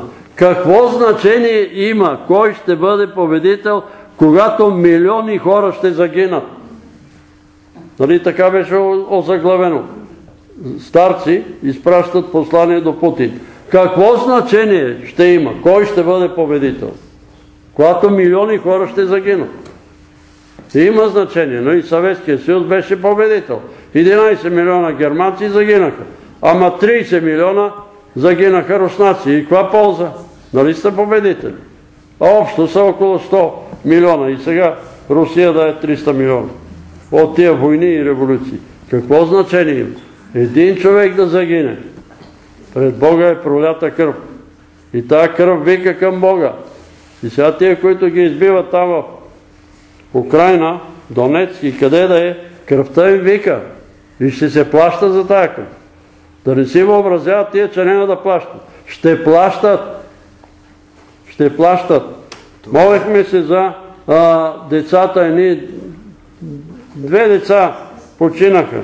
И аз се моля, защо Господи? Защото дядо ми е убил двама германци. И кръвта на германците вика за отмъщение. Дядо им е убил двама германци. И тия му двете деца умират, защото дядото е убил германците. То за това. Друг е убил руснаци. Пак ще отговаря. Пак ще отговаря. Началника на КАТ. Отидахме, вика, на театър, върнахме се, гръмнал телевизора, двете ми внучета изгорели. Не съм го питал, ама не е без причина. Не е без причина. Не е без причина тия две деца да, загинат. И хората, ао, ма какво стана? На село загина един там. Той ни е далечен роднина, некъв от, пак от Велюския род. Баба му от Велюския. И аз викам, ей, млада младина, какво стана, бе, автомобилна катастрофа. И една баба куна там, плисарка. Ела да ти кажа. На 9 септември баща му имаше някакъв земеделец и той го дразни в кръчмата и он е налетел да го удари, но той е легнал на земята, извадил пистолета и го гръмна. Сега сина му е на годините на оня, дето го уби. На оня, дето го уби. Ама минаха 20 години. Еми минаха и ще идва времето и шамара си идва. А можеше ли, можеше ли това момче да не загине? Можеше. При едно условие. Ако беше казал, обичам и почитам баща ми, но се отказвам от делата му. Отказвам се от греховете му. А щом не се отказваш, плащаш. Ама защо Бог е наредил така? Ами не знам защо е наредил. Защото е Бог. И Той нарежда както си иска. Както си иска, така ги нарежда. Ама интервюират бойците по телевизията и казват, не ни интересува мира, ние продължаваме да се биеме. Еми, и после синовете и дъщерите им плащат. Това е. Добре, друг имам. Брат Христо. Освен тия се области, аз като почна да предлагам, предлагам така, Господи, прости ми греховете, нали, и не други подобни на мен, и освободи и защити от нечестиви човеци всякакви рода. И това, почнах тук някакви да питам, ти сега едно не слушаш. Обаче какво се получава? За половин, даже много повече половин година почнаха да ми се казват някакви неща. Тук, тук, тук, тук и благодаря на Бога, че като се моля така, то ми открива грехове забравени или пък които въобще не, съм, не си спомням. Не си се молил за тях. Да. Бог да ти прости. Благодаря на Бога за това нещо. Еми, за това нещо има мирен договор и затова го раздадохме този мирен договор. Трябваше още да донесеме. Прочетете го пак, втори, трети път. Господ да ви открие къде сте сбъркали, къде сте се спъвали. Изповядайте го, кажете му на Господ, помилвай ни Господи, прости ни този грях и той ще даде уверение, че ти е простил. За да имаме уверение, че ни са простени греховете. Не може всеки ден и цял живот ние да се моля простени греховете. Както това се прави православната. Цял живот се моля да им прости греховете. Ами Бог трябва да ви даде увереност, че са ви простени греховете. да имате тая увереност. Защото когато ние нямаме увереност, че са ни простени греховете, ние нямаме дързост пред Бога. Ние заставяме Господи, ние сме боклуци, ние сме такива, ние сме грешници и какво? И нищо. Да, грешници сме, такива сме, но кръвта на Сина му Исуса ме очисти от тия грехове. Изповядах греха си и Бог ме очисти и ми даде увереност, че ми е простил греховете. И той директно говори на някои хора, простил съм ти греховете, простил съм ти греховете. Или пък получава помазание и сила, увереност, че Бог му е простил греховете. Да се молиме за тия неща, но да не се молиме, както казва апостол, за стари цел живот, да се молиме за прошка на греховете, а да преминем към какво беше? Помазание и целене на болни, изгонване на бесове, развързване, насилване от дяволи. А цел живот да тъпчеме се на това. Прости ни, греха, прости ни, прости ни. Простил съм ви. Простил съм ви. Ако вие сте простили, ако вие задържате и казвате на това няма да му проста, на оне няма да му проста, ако каже сега Господи, на всички съм простил, но на Димчо няма да му проста и Господ няма да ти прости. Това, ма така е истината. Или на това Петър Велев няма да му проста. Нали? Тук имаше една сестра, която Елеонора вика, простете ми, тя стана и вика, никога, няма да ти проста. И сега тя ще вика, прости ми, Господи, прости, ама ти не прости на Елеонора. Разбрахте ли ми какво става? Добре, явно, че няма нужди. А, брат. Две думи за душицата. Моля? Две думи да кажа са за душицата, за изнасяне от. За задушницата. А, това, този въпрос е важен. Първо, днеска е задушница и Пламен иска да се каже няколко думи за душите на нашите покойници. Това, което прави православната църква е да се запазят и заздравят корените ни и да си спомним. Прави се помен, се казва. Или спомен за покойници. Да си спомним за нашите покойници, родители, баби, деди, прабаби, прадеди и така нататък. Да си спомним за тях. Както тие чухте тук, че дякон Стефан си спомня за Авраам, Исаак, Яков, патриарсите, Йосиф, нали, Мойсей и така нататък, Исус Навин. И си спомняме за тях. За Бога тия всички наши предци, които са били вярващи, са живи. Запомнете това. Има земна църква. Това сме ние. Има небесна църква. Това са уния, които са преминали. Те са там. Те са при Бога, които са спасени, разбира се. Нашите вярващи. Които са вярвали. Нашите деди са вярвали. Аз мисля и вашите деди са вярвали. Нали, деди, баби, тук там е имало някой, който се е подиграл с Бога. Тук там.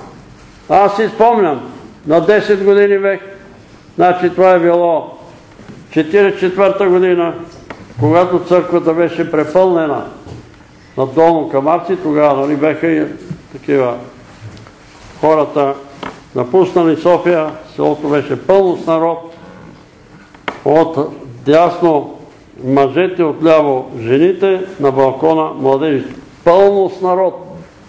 И всичко този народ вярваше, каеше се, молеше се, православната църква по православно си вярваха хората, не се отклоняваха от Бога и се учеше вероучение. И аз съм учил до 49-та или до 50-та, не знам коя година, може би там некъде, първи, втори клас. И от нашия клас само едно момче напускаше, защото беше пожелание. В първи прогимназиален клас или пети клас сега, само един младеж напускаше.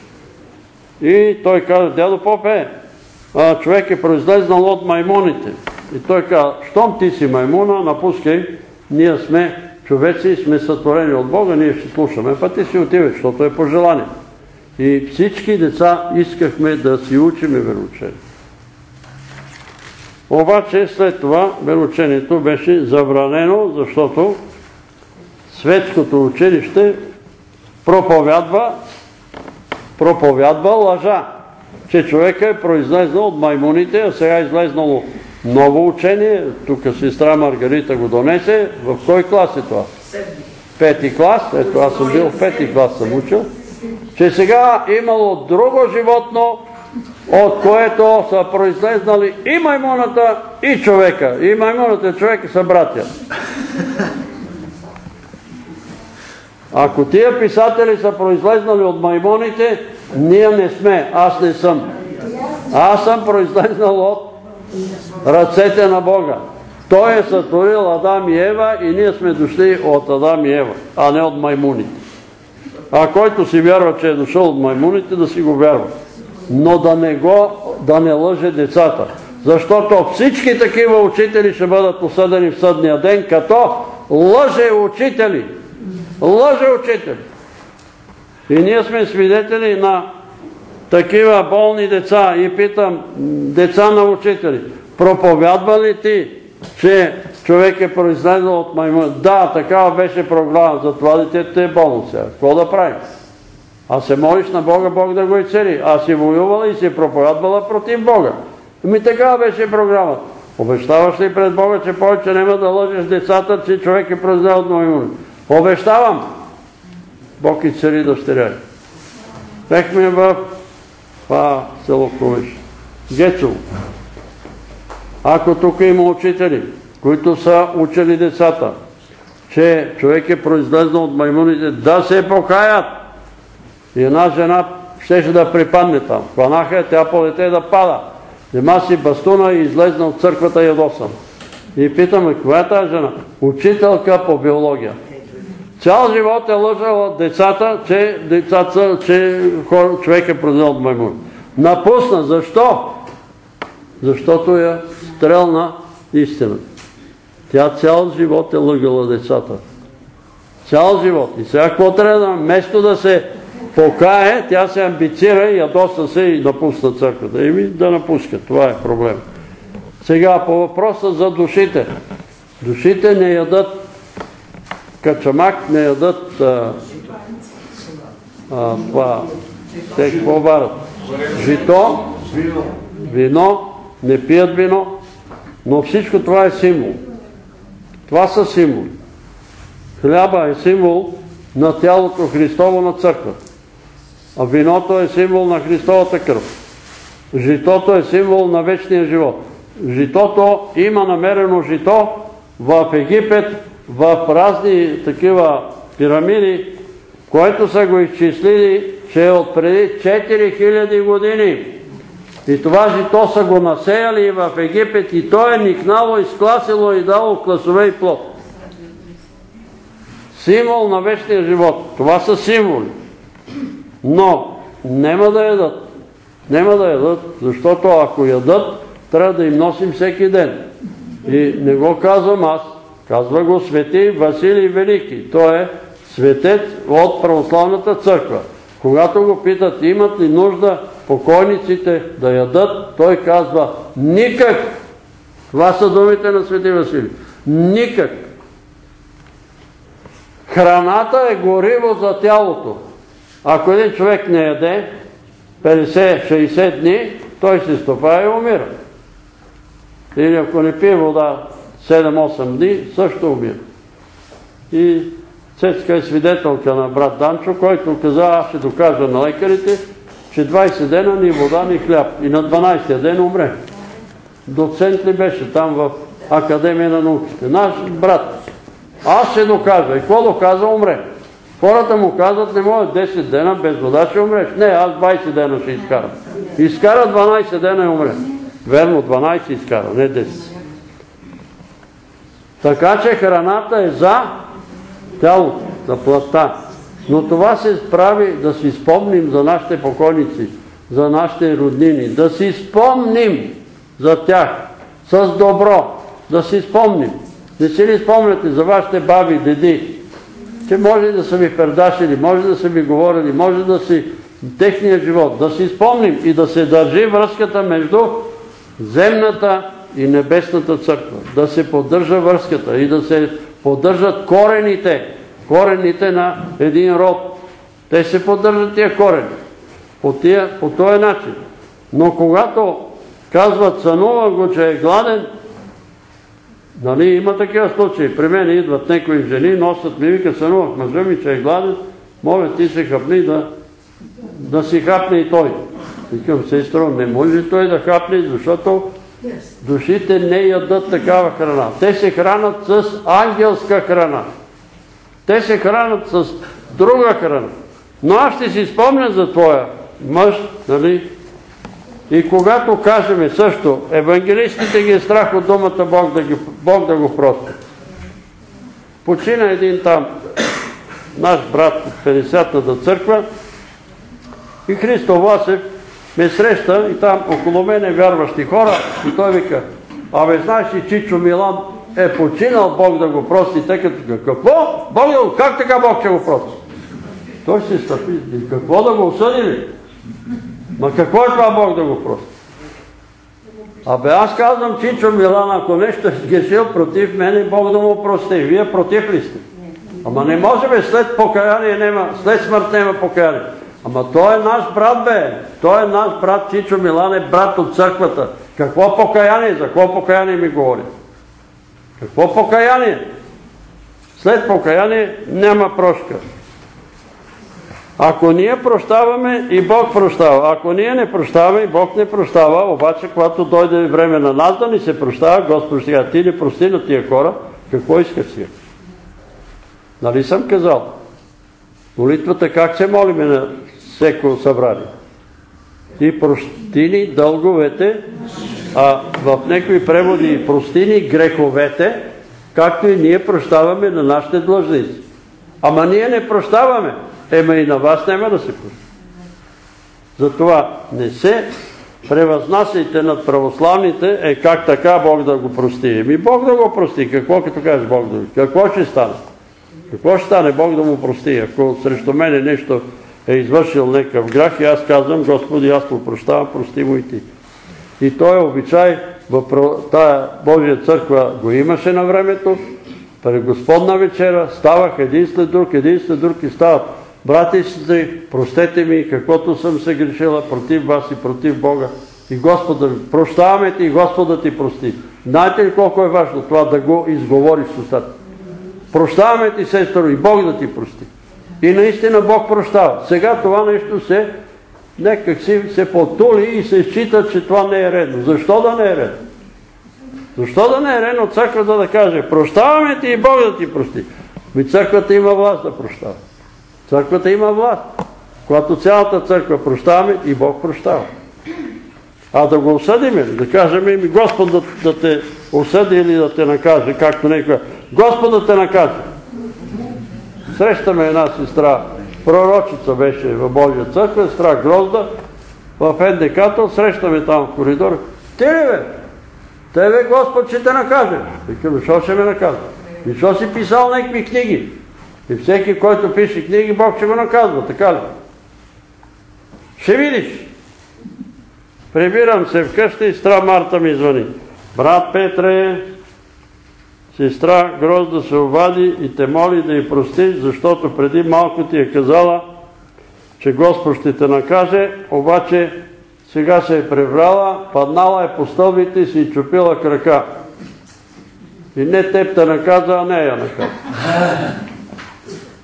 И аз си прощавам, ама тая дума Господ ще те накаже, не го употребя, не я употребя. Господ ще те накаже. Откъде е ти адвокат на Бога ли си?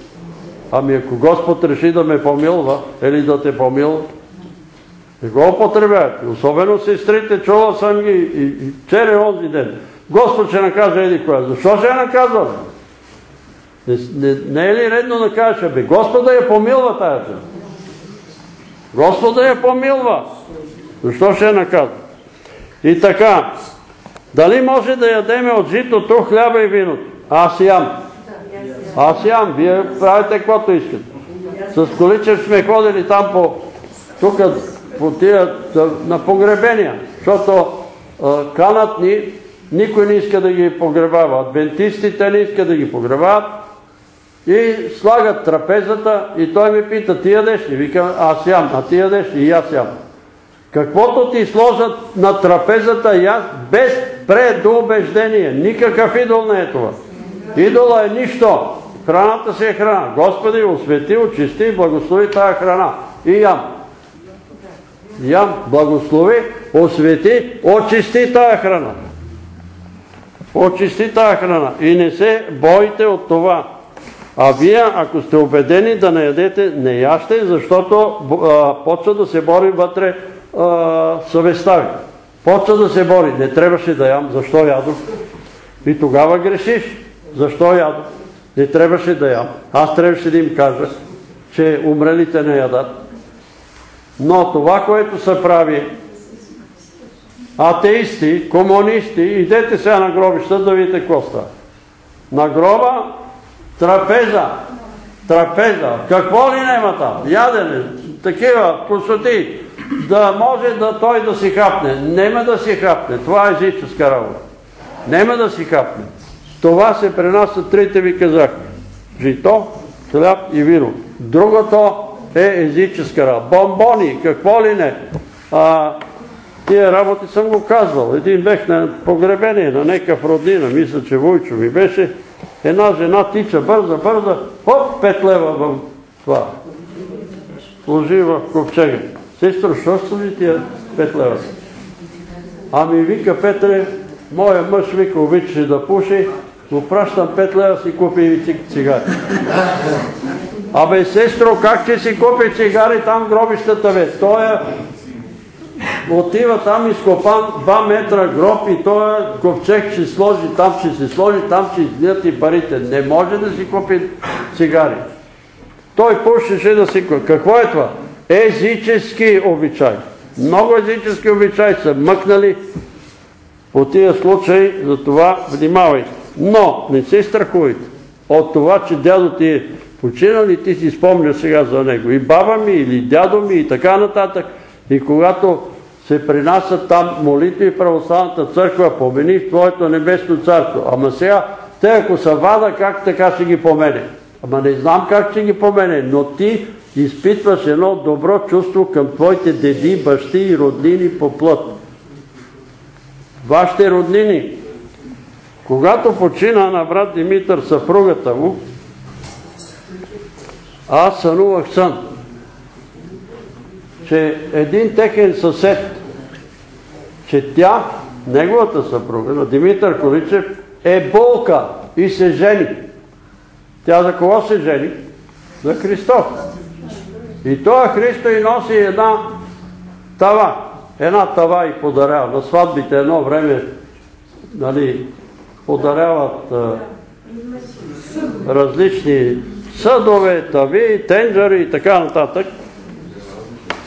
Защото си мисля, че тя сигурно го е приглеждала, той беше самотен и му е давала нещо, хранички и така нататък. Но сънувах и нейната майка. Нейната майка. Ми казва, аз съм майка, майка но как не намери време през целия си живот един път да ме почете? Има ли значение? Да занесеш едно цветче там на гроба и да кажеш. Има ли и това значение, като занесеш цветчето там на гроба? Молих се, когато беше починал зет ми на моята сестра мъжа Тодор. И вземах един букет рози и ги занесах там на гроба, от сърце занесах ги, оставих ги там. И след обед си полегнах така и казвам, Господи, той сега сигурно е при Тебе или къде е, не знам, но тия рози, дето ги занесох там, нали, аз му ги носа на него, уважение, почет към него. Имат ли някакво значение той знае ли, усеща ли? Изведнъж цялата стая се наелектризира и се напълни с аромат на рози. Все едно съм напръскал стаята с розово масло. Има ли значение? Има. И тогава сънувах друг сън, в който ми се казва, има значение, когато е дадено от сърце и когато е купено с твой пари. А когато е купено държавни пари, не се приема. Нека чуят тия големците, които занасят големи венци там, на Левски, на Ботев и му носят венци. А откъде? От бюджета на държавата. Ами бъркни, господин министър-председател, господин президент, от твоите пари, от твоята заплата, купи един венец и го занеси там на дякон Левски. Тогава се приема. Ако е с държавни пари, не се приема. Това съм чул, това ви казвам. Знам, че ще има противници и ще кажат, аз обаче не приемам. Добре, но ще ви кажа и друго нещо. Когато тая храна няма да те оскверни и не ме осквернява, абсолютно съм сигурен. Това, че ще имам една такова копичка с жито или едно парче хлеб или една глътка вино, не ме осквернява, сигурен.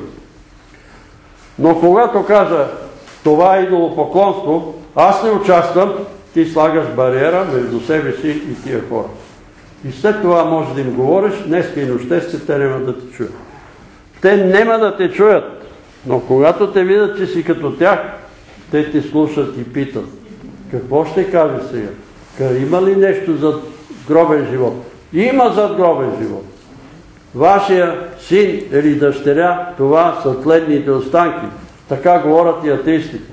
Но неговата душичка е неговата личност и тя е или при Бога, или при дяволите. Има само две места, няма трето место. Сега католиците кажат, че има и трето, чистилище. Аз не знам дали има трето. Аз вярвам, че има две места, така казва Исус. Умря си Ромаха, занесен беше лоното на Авраам на почивка. Умря богаташа, отиде ли в чистилището? Не. Занесен беше на мъж. И сега той е Кирил ми се обажда, ама вика как че мине тя сега пред, как се казва това? Пред, абе, нали има някаква различни митарства. Сега тя трябва да минава, вика, през митарството. 50-та християнка, новородена, кръстена, святия дух и сега ще минава през мита. Абе, какви митарства, бе? Какви митарства? Къде ги намерихте тия митарства? Некоя си блаженна Тодора е сънувала за некви митарства.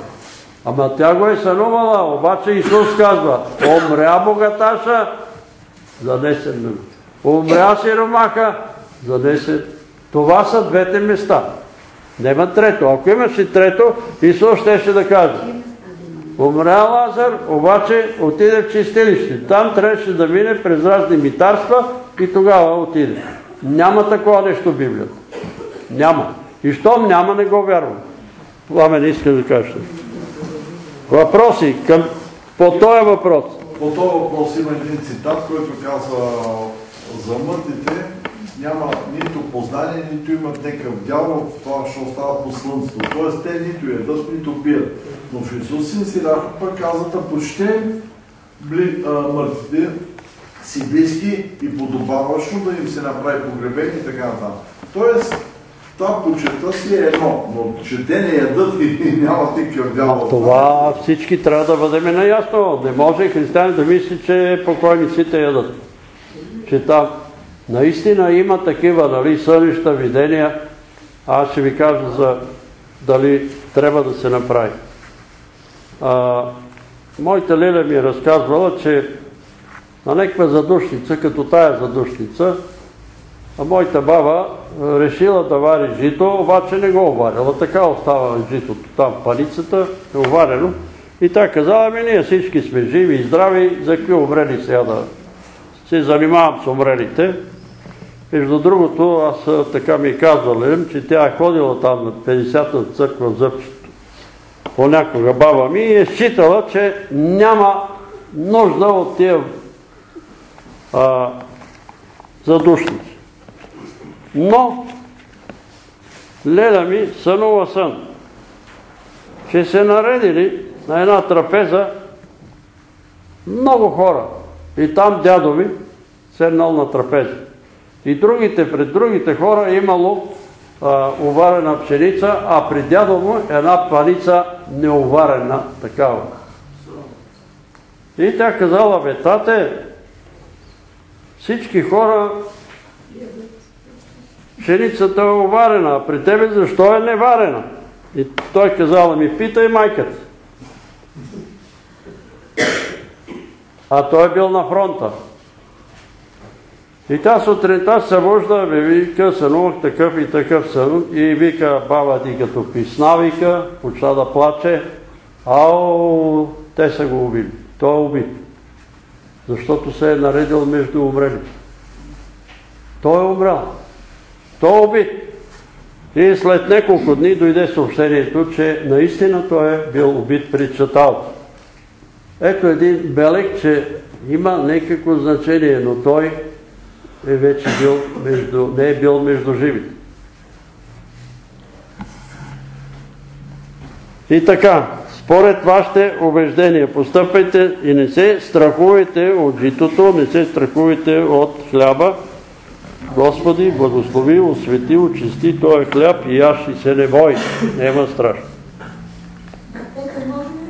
Свидетелство? Кажи. Кажи. Разказвате ми самите си. Една възрастна жена, молодачка, имала друга жена, която е обслужвала. И на една такава задушница, помните жена казала на другичка- другата женичка, която е обслужвала, не мога да отида надолу, да ще те помоля, ето давам ти пари, ти да приготвиш там каквото е там питката, житото, всичко каквото е, и да ти да отидеш нос и така ти да отидеш. Така се случило, че, че дъж- денят бил дъждовен и жената, като тръгнала към гробищата, спънала си паднала. Паднала и си разпиляла от турбичката а, чашките, всичко, каквото е носила, и кутиите, в което било, имало и баничка, да, имало и баничка, пицка, жице. И си наранила коляното. И, така, и си помислил жената, аз не мога такъв вид да отида, сега всичко се намоква, така, което е така. Но и голямото много ме боли. И сега се срещам, ще отида при наши родни, те са с две-три дечица и са доста бедни. Там ще раздам и да се отпочина малко да ни превеждат като. И така направила. Като влезнала в дома, приеми я и децата са ми хвърлили веднага. Всичко било чистичко, можело да се яде и питка, житото, и баничка, и било сега. И тя казва, с свито сърце ще отидем утре при новата жена, как вие може да ме отстрани от залата вече. Но когато отишла на другия ден, болната жена ми е посрещнала усмивка и казала, не се притеснявай, всичко знам. През нощта сънувах моите близки, те ми казаха, колко сме доволни, колко сме щастливи, че каквото бяхте, беше приготвени да давате на тези бедни хора и децата се накраниха и бяха много щастливи. Защото аз знам, че трябва и милостиня да се дава а, заради починените. Това, което ще приготвя, не да се остави на гроба, имаш а, съседка болна. Там ще го издадат на гроба Имаш шишал, виж, Гарвани. там на. Това искам да кажа, че милостинята също помага на душите да се спокойни. Един брат ми разказа, че дошъл един брат, който му били скъсали обувките и Абе, нямаш и някои обувки да ведеш, бе, течат ми обувките. Аз вика, намерих едни стари обувки, му дадох. Не са толкова скъсани, ама уръфани. И вечерта се моля, вика, коленичил съм, моля се на Бога и гледам пред мене тия моите обувки. И като погледнах нагоре, вика, пред мен стои Исус Христос. Господи, аз те обух с старите обувки. Какво му показва той? Нали, ще дадеме ама онова, което е овехтело, нали, което е забукло. Така че, като нахраниме некой сиромах, ще нахраниме Исус. Така го вервам. Нали? Така, ще, така го вервам. Но за съжаление, за съжаление казвам го, може да ми се сърдат. Нали, православната църква, но това съм го чувал и от жените там. Ние вика носиме тук да раздадем за здраве. И две жени отиват в църквата и носят за здраве. Аз си дам на нея, тя ми даде на мен и това е. Раздадохме за здраве. И какво раздадохте? Нахранихте се двете. Все едно, че сами сте. Занесете го това на някой сиромах, на някой, дето не може да ходи, на някой, дето е гладен. И тогава, дето викат, те ще ви се намери. А така, едни и други се хранат за здраве, за здраве. То е хубаво, нали, да раздаваме, да се научиме да даваме. Защо? Защото който дава, знае много добре, че по-блажено е да даваш, колкото да взимаш. По-блажено. Но не се страхувайте и не треперете от това, че някой е казал Бог да го прости. И какво е казал Бог да го прости? Какво е станало? Страшно. Нема нищо страшно. Не бойте се. А по този начин, когато си спомним за нашите бащи, деди, баби, да си спомним за тъй, защото нема този забързан свят, няма време да си спомним. А идват такива моменти, нали, кога е такива, нали, 3-4, не знам колко са в годината, 4 или са петница, когато да си спомним за нашите предци, за да си спомним за нашия корен, откъде сме дошли, кой е дядо ми, кой е прадядо ми, кой е баба ми, прабаба ми, да си спомним за тях. Ма те са умрели, ама за мене не са умрели. За мен са живи, само че са на втория етаж. Те са горе в другата църква, в небесната църква. Като са вярващи, нали? но некои може да го няма там. От тия наши баби и деди. Може ли нашите молитви обаче да променят съдбата му, ако той е в ада? Няма да стане. Няма да може, защото Исус няма да отстъпи от думите си. Който повярва и се кръсти, ще бъде спасен. А който не вярва, е осъден. А който не вярва, ще бъде осъден. Много ми се иска всички мои роднини, без изключение. Нали, баща ми има 6 братя и 3 сестри. И техните жени, и техните деца, моите 27-8 братовчени, всички да бъдат при Бога. Обаче има едни, за които Той, Господ ми е казал, няма да стане. Вуйчо ти, един от моите, на моята леля, която е сестра на майка ми, беше сестра на майка ми, нейния съпруг. Той е бил учител по вероучение. И когато е говорил за Бога, се е присмивал с Бога. И се е подигравал за Бога.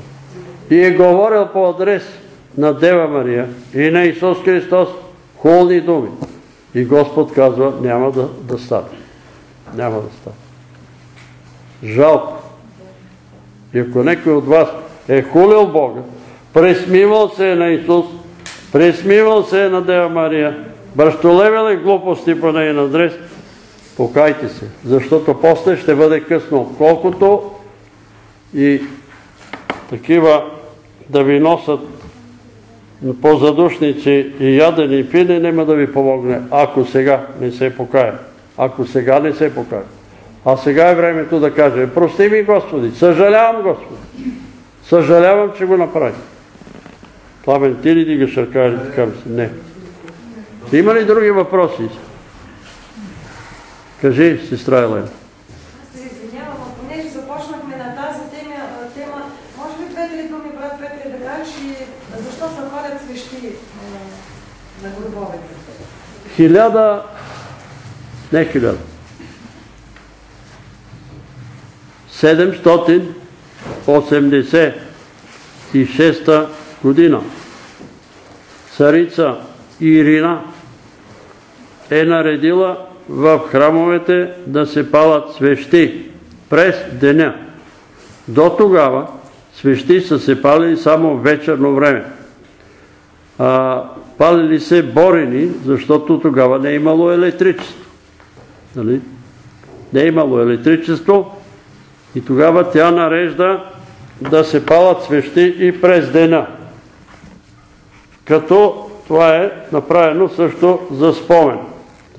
Сега Бойко Борисов каза, че неговата майка му казала, аз го чух това по телевизията. Когато имаш проблем, иди в църквата, запали една свещ и докато, докато свеща гори, кажи проблема на Господ. И Господ ще разреши проблем. Кажи проблема на Господ. Нали, той, майка му така е казала, ама не е точно така. Докато гори свеща, помоли се на Господ. Господи, помогни ми да разреша проблема. Но, сега аз ви питам, тук вие не палите свещи. Като имате проблем и като кажете на Бога, Господи, имам такъв и такъв проблем, моля те, помогни ми и разреши този проблем. Разрешавал ли е Господ проблемите ви? Разрешавал ли? Без да се е запалил свещ. Но тия хора така го читат, нали, че като запали свеща, обаче много отдавна се говореше, че това още свети Йоан Крощарски е пророкувал, че свещите трябва да се правят от челен восък, който е благоухание. И това нещо благоухание трябва да има в църквата, това благоухание. Но търговската част на църквата е решила, че по-бързо ще стане от парафин. И той пише, че хората ще почнат свещеници и певци там да се задавят от пушека на парафина. И, това сега е по църквите. Сега чувам, че излезна някакъв заповед отново свещите да ги правят с восък, само че бъдат по-скъпи. Нали? И се приема като благоухание пред Бога. Едно време, когато събираха дискусите по църквите, минаваше един с една такава помпичка с розова вода и пръскаше и цялата църква. Като благоухание. Нема нищо страшно. И това благоухание също не е страшно. Но когато се прави нали, с търговска цел, комерциална цел, се стига до такива грехове, които не знам как ще ги плащат. Аз гледах в Обрадовци е тук на Свети Мина манастира, не чакат да ги запалят там. И тия събират толкова и свещи, газа и в един чувал. И уния други палат, ама то народ се е набрал. И тия чували после отиват, предават ги, нали, и взимат пари. Какво е това? Къде отиваме? Къде отиваме? Търговски сделки. И Господ ще съди такива. Сега, дали ще им светне на тия, които са в ада, ако им запалим една свещичка? Ада не е в гробищата, ада е некъде в центъра на земята. Ще им светне молитвата. Ще им сметне това, че сме си се помолили за тях и че сме си спомнили за тях. Знаете ли кога ще им светне? Когато казва Исус, направете си съкровища на небесата, защото ще дойде време, когато от тия съкровища ще може нали, да се ползваме. Как ще се ползваме? Некоя си душичка ми е направила добро на мен. Нали, некой човек, грешник човек, ми е направил добро. И когато си спомня за този покойник, аз си спомням, аз съм ви казвал, един лекар, доктор Иванов. Беха решили във военна болница да ми режат тия два пръста, защото те беха загнили в казармата. И доктор Иванов е в залата там и професора показва на студентите, това е панарициум, ето загнили са кости, трябва да се отреже, защото иначе може да се наложи да ми режат ръката. И там в, до прозореца стои един доктор Иванов. И този доктор дойде, разбута докторите, погледна ми тук пръста, вика, кой те е резал? Вика ми, те той е професор. И вика, той ти е срезал, вика, нервите и зимно време ще ти се напукват пръстите. Слава Богу, малко се напукват. Ви се, а верно, тук са ти загнили костите. Вика, защо си прави, до какво си чекал до си? Ами викам там лекара в поделението ми слага реванол. Тук вързаме с реванол и вика, ще мине, ще мине, но то не минава. Сега ще очистиме тук костичките. Ти си младо момче, човешкият организъм има такова свойство, така е създаден човека, да се само възстановява, да се само изцерява. Ние само ще очистим, ще помогнем. Ако продължава загниването, ще ги резнем до първите свивки. Няма да режеме пръстите, като тия вземали ножовете и готови вече да режат. И той ми цепна тук, оправи, чисти ги, върза ги и след пет дена пръсте ми се оправиха. Аз викам, докторе, аз съм добре сега. Абе, седи тук да минава службата, бе. Помагай на болните тук. Какво ще правиш там казармата? Ще те гона да превземаш там планините и да търчите като изоглавен. Седи тук и помагай на болните. И ето, пръстите ми са запазени благодарение на месата на този доктор Иванов. Еми, кога си спомням за него, нали, и запала една свещичка, аз ще кажа, Господи, не го знам, той е доктор Иванов, какъв бил, що е, но помилвай го. И тогава ще си наберете приятели. Ето такива приятели, които ще се застъпят за вас. И аз се застъпям сега за доктор Иванов, Господ да го помилва. Ама аз съм сигурен, че той е правил добро и на много други на болни и страдащи.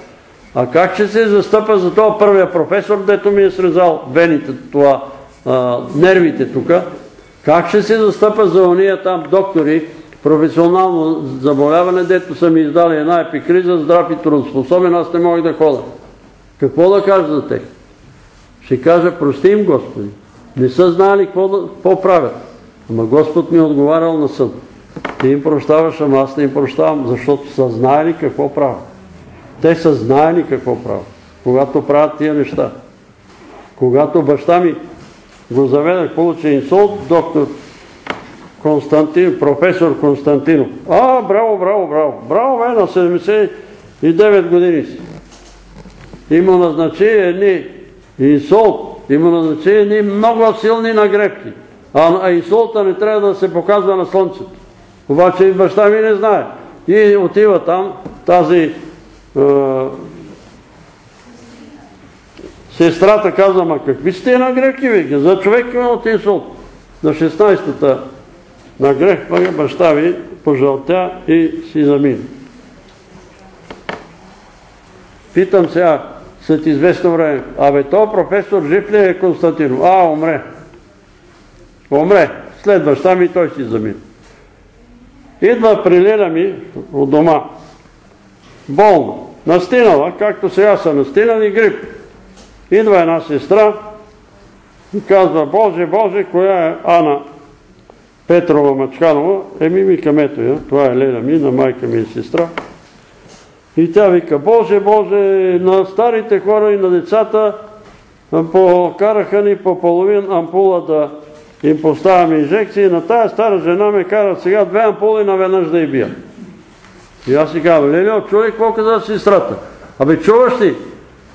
Не я закачай, докторите си знаят работа. Докторите си знаят работа. Директора на поликлиниката е наредил да й ударят две инжекции наведнъж.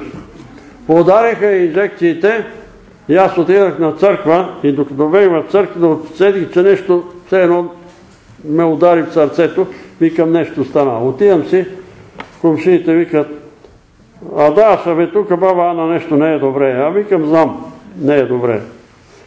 Какво стана, бе? Сестра ми вика, ми, ти излезна, вика, ние си говорихме, верно, по-добре стана, извън се. А! И падна на леглото, вика, издъхна. Инфаркт. Доктор Найденов е наредил да й ударят инжекции. Мина неколко месеца, оп, некролог, доктор Найденов. Еми, това върви едно след друго.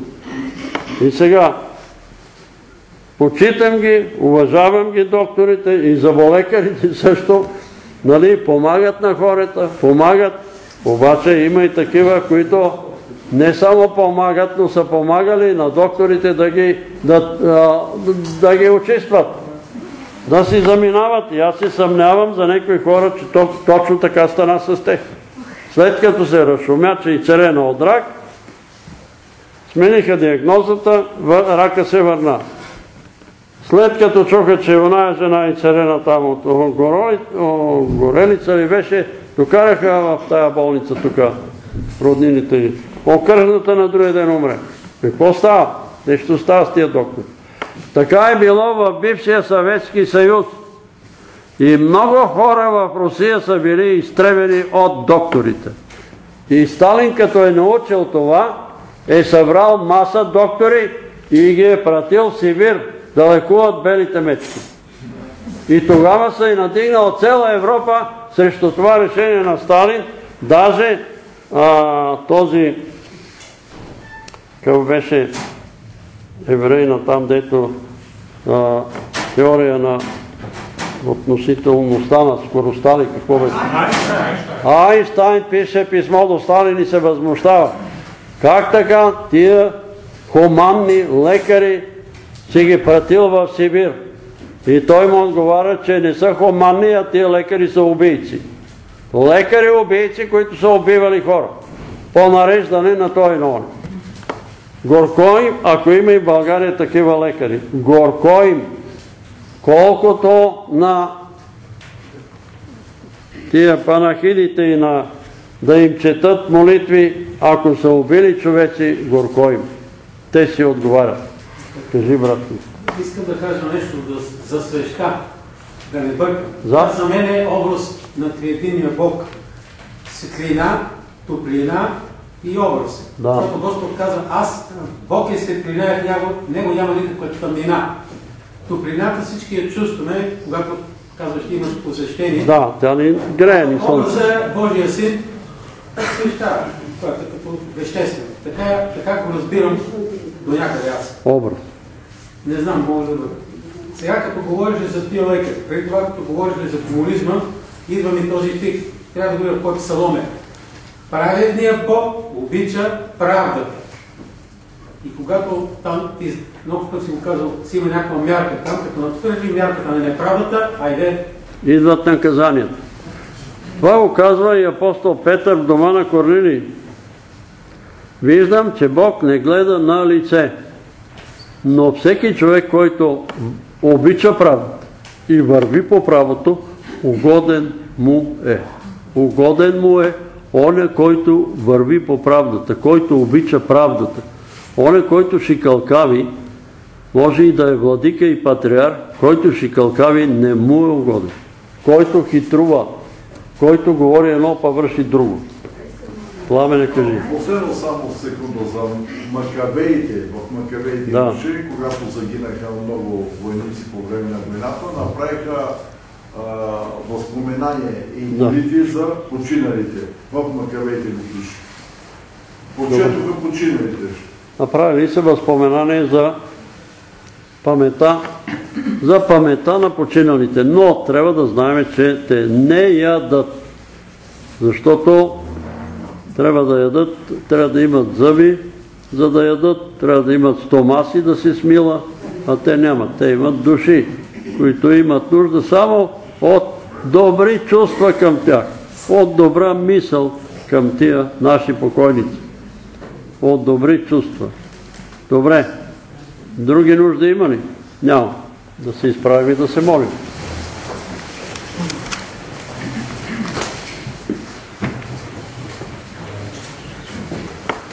Слава да бъде на името Ти, Всемогъщи Боже! Господи, Ти знаеш, че днес и православната и католическите църкви са по гробищата и си спомнят за нашите покойници. И ние си спомняме за нашите деди, прадеди, за нашите родини по плът, родители, прародители до трета, четвърта рода и до десета рода. И ние ги почитаме, Господи, и си спомняме в нашата памет за тях, но се отричаме от греховете.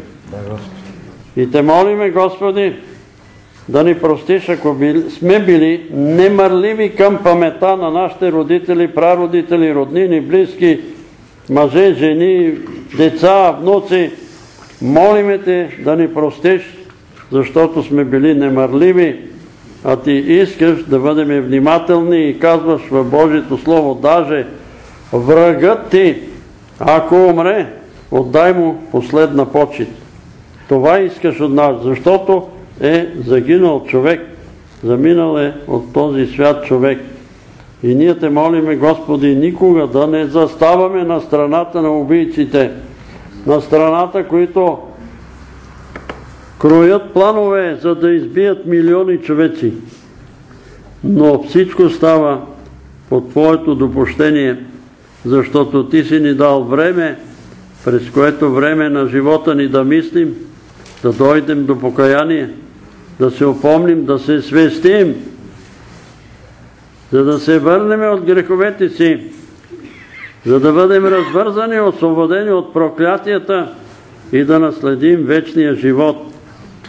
Господи, смили се за нас, помилвай ни. Ако некой от нас е ял за Бог да прости и го мъчи съвестта му, освободи съвестта му. Освободи съвестта му, защото това няма да го оскверни. И ако кажем една дума за този или онзи, който ние познаваме, прости му Господи, това не ни осквернява. Осквернява ни, ако го мразиме, защото омразата осквернява човека. Зависта осквернява човека. Гнева осквернява човека, който излиза от сърцето на човека.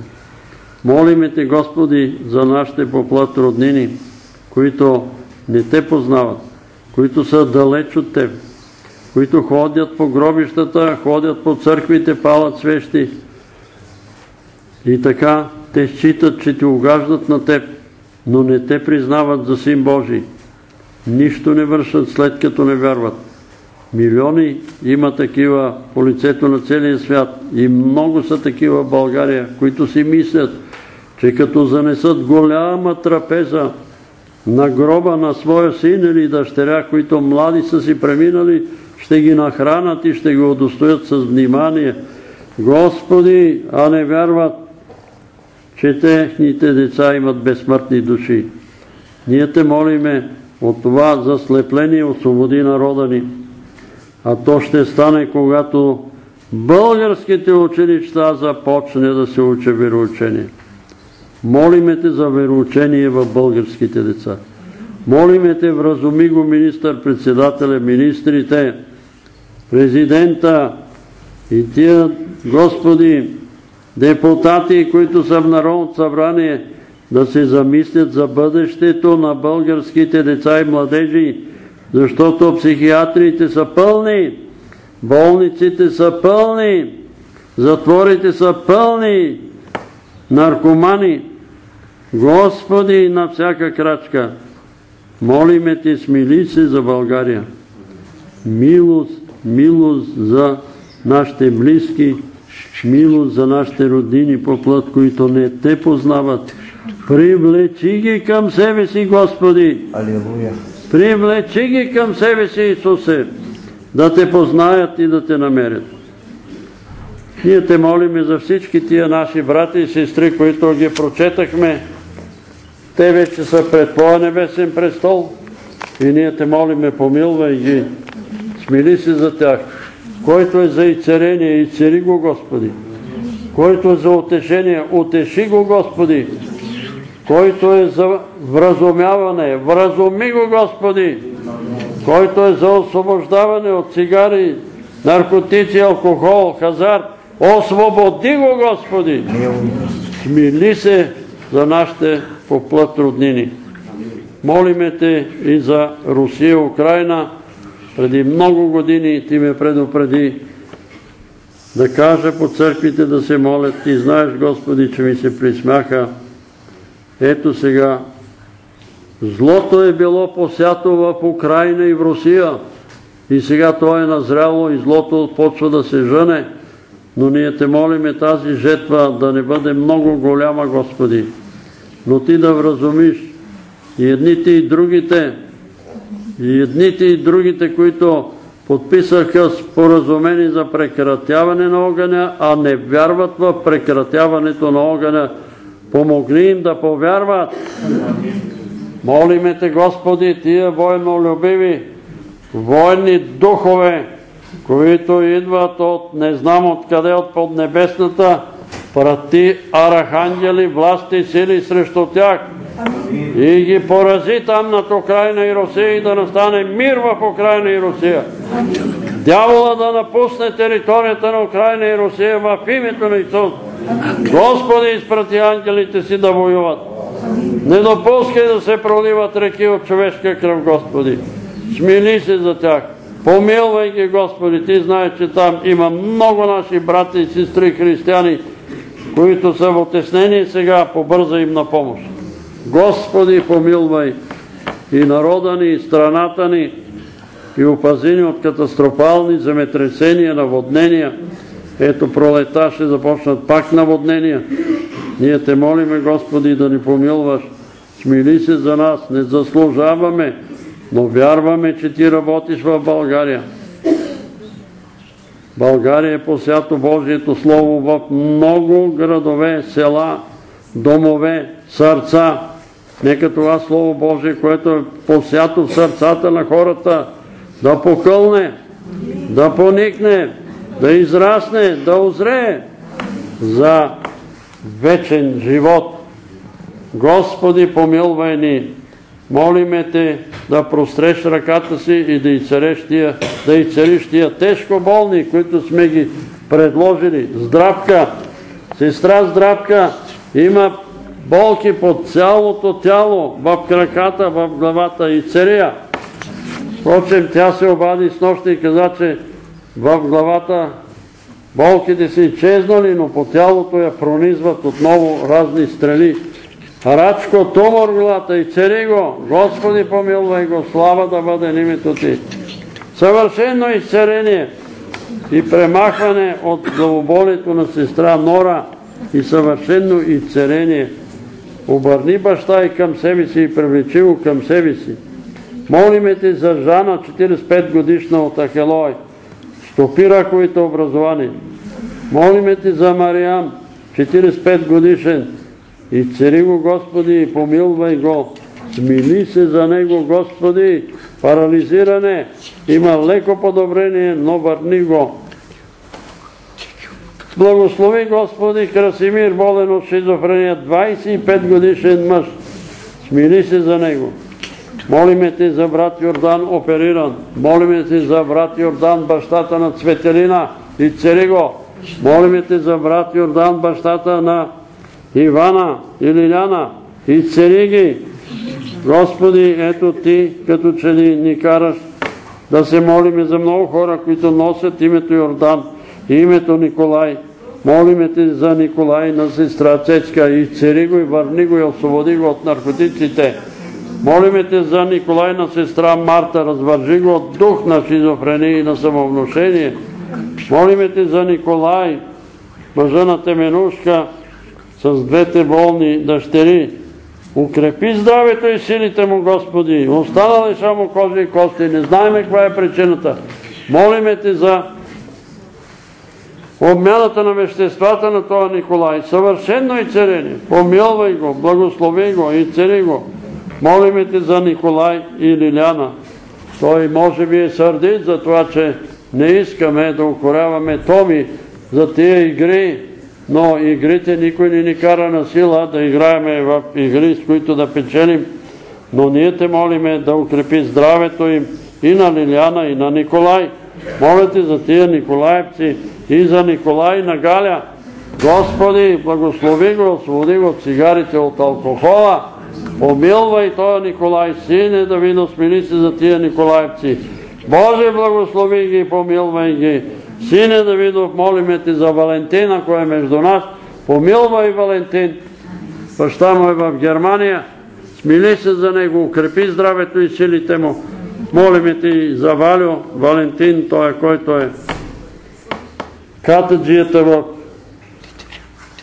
София в Кат, а и Валю от Валентин от Хисара.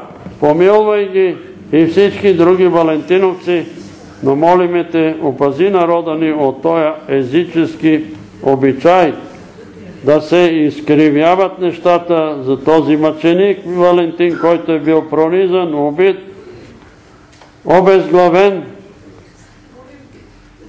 по времето на този император, който е преследвал християните и е наредил да бъде обезглавен. Ние те молиме, Господи, да благословиш и другите братя и сестри, които имат проблеми. Молиме Те за сестра Мария. Господи, вразуми, може би ще ни чуят бащата на това момиченце Мария, ще ни чуе, за да извадат млечните зъби и другите зъби да растат правилно.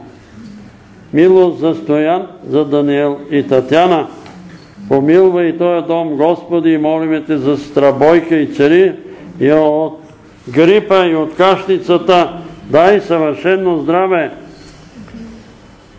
Молиме Те за Илиян в Англия да си намери подходяща работа. Благослови Хавина, пази и помагай. Молиме Те за Рачко Париж. Стопито морите образование в главата му. Молиме Те за Слабчо в Шумен. Господи, изцери кръвта му, изцери го от левкимията. Слава да бъде на името Ти. Молиме Те за всички тия нужди, които ние прочетахме тук. И аз не ги повтарям, но Ти ги знаеш, Господи. Приеми ги като писмени молби пред Твоя небесен престол. И цари тия брати и сестри. Помилвай сестра Здравка, Тонева, Господи, която се измъчва там, я мъчи някаква болест и нея. Мили се над нея. За Кристина на сестра Розалия. Господи, молиме Те, сестра Полина и нейния проблем. Помилвай ги, тия хора, Господи, промени роднини, близки, приятели. Молиме Те за Сашо от Горна Оряховица и за братята и сестрите в Горна Оряховица. Милостори над тях, помилвай ги. Смили се за тях, Господи, слава да бъде на името Ти. Молиме Ти за тия нужди на брат Христо. Благослови го, тия седем проблеми и нужди в неговия живот. Ти разреши според Твоята блага воля. Милост за Красимир, Господи, промисли за подходяща работа. Благослови го с работа. Благослови и всички други и за брат Данчо, който може да работи като пазач, отвори врати някъде за пазач, да може да си изкарва прехраната, съвършенно и целение на норчето и на баща й. Благослови, Господи, внуците на брат Пламен. Радваме се сега, като чуваме, че Кристиян е излапал една паничка с супа, да започне да яде, да се храни, да бъде нормален. Господи, молиме Те за Ани и за Роберт, укрепи здравето и силите им, помилвай ги, благослови ги, Господи, слава да бъде името Ти. Слава Тебе, Господи, слава Тебе, молиме Те и за нуждите на този салон, да бъде Твоята воля, молиме Те за Твоята директна, прека намеса. Ето той е окръжния управител, доколко разбрах е мюсулманин, но ние знаем, че понекои мюсулманите ни защитават повече от християните, които се пишат християни. Помилвай го, благослови го да вземе правилното решение, да може на това място да се събират братя, сестри, ние, други брати и сестри, да се молим, да прославяме името Ти, да прогласяваме благовестието, което си заповядал да стигне до всяка човешка душа, че е дошъл Спасител на земята и че всички човеци имат нужда от този Спасител. И този Спасител е и нашия Спасител, Господ Исус Христос, слава да бъде на името Му. Молиме Те, чуй всяка немощна слава, молитва, тайна молитва и въздайни наяве, Господи, за бъде радостта ни пълна. Благослови ни, помилвай ни и бъди с нас. И сега всички заедно желаем да ти се помолиме с молитвата, с която Твоя син ни е научил да се молим. И като молиме да казваме който си на небесата, да се святи името Твое, да дойде царството Твое, да бъде волята Твоя, както на небето, така и на земята. Хлябът наш насъщни, дай го нам днес и прости ни дълговете наши, както и ние прощаваме на нашите длъжници. И не ни въвеждай в изкушение, но избави нас от лукавия, защото е Твое царството и силата и славата во веки веков. Амин. Вярвам в един Бог Отец, Вседържител, Творец на небето и земята, на всичко видимо и невидимо, и в един Господ Исус Христос, Сина Божия, единородния, който е роден преди всички векове, светлина от светлина, Бог истинен от Бог истинен, роден, несътворен, единосъщен с Отца, и чрез когото всичко е станало, който заради нас, човеците, и заради нашето спасение, слезе от небесата и се въплати от Духа Святаго и Дева Мария и стана човек и растна за нас при Понтия Пилат и страда и бе погребан и възкръсна в третия ден според Писанието и се възнесе на небесата и седи отдясно на Отца и пак ще дойде със слава да съди живи и мъртви и царството му не ще има край. И в Духа Света Господа, животворящия, който от Отца изхожда, комуто се покланяме и го славиме наравно с Отца и Сина, и който е говорил чрез пророците, в една свята, вселенска и апостолска църква, изповядвам едно кръщение за опрощаване на греховете. Чакам възкресението на мъртвите и живот в бъдещия век. Амин. Панчо за дрехта. Велики Боже, благодарим Ти, че отново сме при Теб в Твоята църква. Ние вярваме, че каквото и да се случва в живота ни, Ти си над нас. Ако ние сме непослушни, се оттегляш. Ако обаче сме послушни, Ти ни закриляш. И пак Твоята вездесъща любов ни помага да преживеем живота си с пъвания и падания, но и с издигания. Господи, ние вярваме, че Ти ще ни изцериш и духовно, и физически. Амин. Ние сме повярвали за това, да, да имаме надежда. И то голяма надежда, защото без надежда нищо не може да се случи.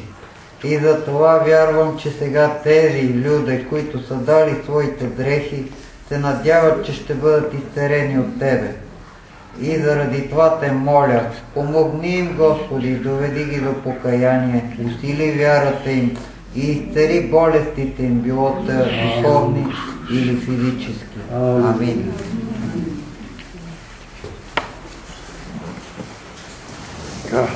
Сядайте, ако има видения, говорете. Да?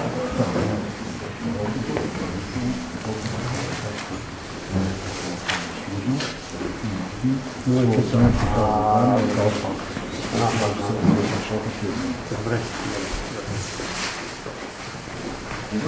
Трябва да приемем само едно. За сестра Здравка. Тонева, да. Да. А, не, не, не Тонева. А, от Божури. Криви учения. Това. Криви учения. Какво е не знам? Сега, сестра Здравка е бивша библиотекарка. И тя е чела много книги. И какви криви учения са се надъхали, не знам. Но ако продължават, някой от вас, вие ме слушате и не, ме, не ми вярвате. Вярвате на вашите пастири, които казват Дева Мария е родила Яков, Йосия, Симон и Юда. Това е криво учение и няма да ви цели Господ, докато го вярвате и го проповядате. Защото е лъжа. Защото е лъжа. И ние трябва да напечатим и да ви дадем. Колко пъти го повтарям. Обаче пастирите си дам. Не, пише там. Яков, Йосиф, Симон и Абе, пише там, ама пише, че майка ми била на гроба заедно с майката на Исус. Тя е друга Мария. Съвсем друга Мария. И като го вярвате това и го проповядвате, попадате под проклятие. Не знам дали това проповядва здравка. Или е фанала нещо, някакво друго учение. Нали, тя с Милчо Тотев там се събираха, някакъв негов заместник, не какъв е. Какво проповядват, не знам. Милчо Тотев. Но има хора, които е сега тази миналата неделя се обади Милка. Щеше да дойде. Тя идва тук един път и каза, нещо има проблем, има же това, синовете не са жена, ми вика, ще трябва да отида на врачка. Идеш ли на врачка, ще вкараш дявола в къщата си. И аз нощеска сънувах, че нека войник дойде и ми каза, ще ти набера Милка. Набира Милка, ало, някаква друга жена, друг глас. Милка там ли е? Нема я. И в следващия момент, да, ето сега влизам. И той войник ми казва, кажи, че единия, и син вече е мъртъв. Той не е мъртъв, ама като приеме друго учение и като похула Святия Дух и като каже, че 50-ните говорят от дявола, заминавате. Заминавате. Може ли толкова 50 и такива харизматици има и католици има харизматици, кръстени Святия Дух. И всички тези християни са дявола, защото говорят от дяволи. Помислете малко и тогава говорете. И щеше в неделя да се обади, да отидем в неделя да говорим, не се обади. Ете, цяла седмица я чакам да се обади, не се обажда. Защото някой е отишъл там и е казал, не го питай това Петър Велев, той има криви учения. А като им говориме това и свърлете го, ето сега и слушай Бойке, и това. Какво казал Ленин за Лев Толстой? Абе какво е толкова е важно това? Това толкова ли е важно, какво е казал Ленин за Лев Толстой? Какво е казал Исус? Лев Толстой е еретик. Може да написал Война и мир, много книги, Ана Каренина и така нататък. Обаче той казва, че Възкресението е станало. Възкресението било станало. А какво казва апостол Павел за уния, които говорят, че Възкресението е станало? Събарят вярата на мнозина. Това са еретици.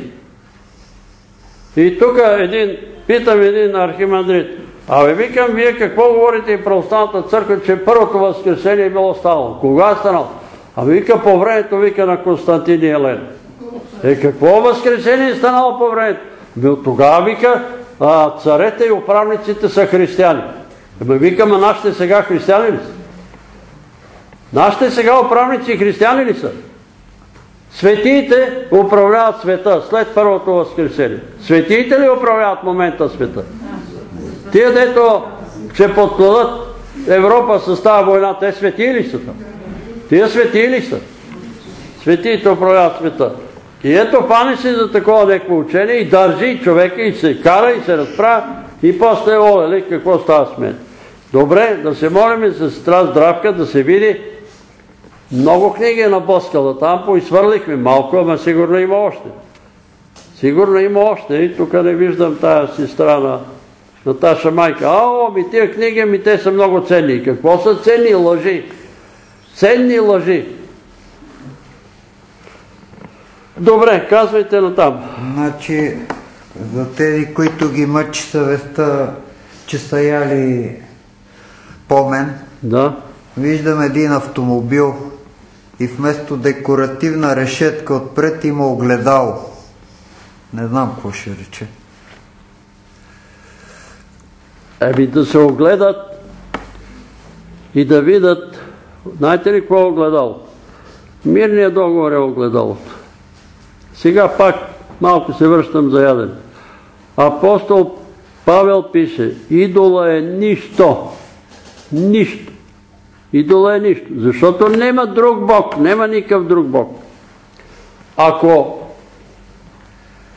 яще, купувайте от месарницата без да изпитвате, за да не се бори съвестта ви. Защото на времето са принасяли идоли на разни фалшиви богове. Юпитер, Сатурн, нали, Марс, Венера. И са принасяли волове и телета. И тия волове и телета след това са ги занасяли в месарниците и са се продавали. И много християни, Като са разбирали, че това са принасяни идоли, след това са се борили в съвестта си, че са яли от идоло жертвен. И той казва, идола е нищо. Не изпитвайте и не питайте това, откъде го имате това месо и така нататък. Защото храната е за корема и корема е за храната. И Бог ще унищожи и храната и корема. Това корема, коремите ще бъдат унищожени. Това е положението. Не изпитвайте заради съвестта си. По същия начин, уния, които ги е страх да вземат, да не взимат. Ама да знаят, че е нищо, че това е една храна, която като кажеш две думи, тя се освещава чрез молитвата. Благослови, освети, очисти тая храна и яш, и не се притеснявай. Обаче, ако те е страх и изедеш, ао, защо ядах? Сега аз съм свидетел, нали, нарочно съм ходил да видя. След едно погребение, почина там един наш близък, или беше една сестричка, нейните близки роднини, евангелски християни, обаче нейните родители са православни християни и поканиха свещеника в къщи, защото след, има такъв обичай, след погребението да се направи водосвет. И аз слушам какво говори свещеник. И там се сложиха неколко хляба, два-три хляба. И той се моли и казва, Господи, освети, освети тая храна. Та всички, които ядат от тая храна, да им бъде за здраве и царение на телата им. След това слага там е, кръста във водата и чете и казва, както ангела влизаше в е, капалнята, Витезда, и разклащаше водата и освещаваше водата, и който пръв пиеше от тая вода, оздравяваше от каквато е да е болест, така Господи освети и тая вода. Та който пие от тая вода да бъде здрав. Е, какво е идоложертвено се? Какво му е на това идоложертвено? И той, който яде от тая храна, осветена чрез молитва, и пие от тая вода, той е ял и пил идоложертвено.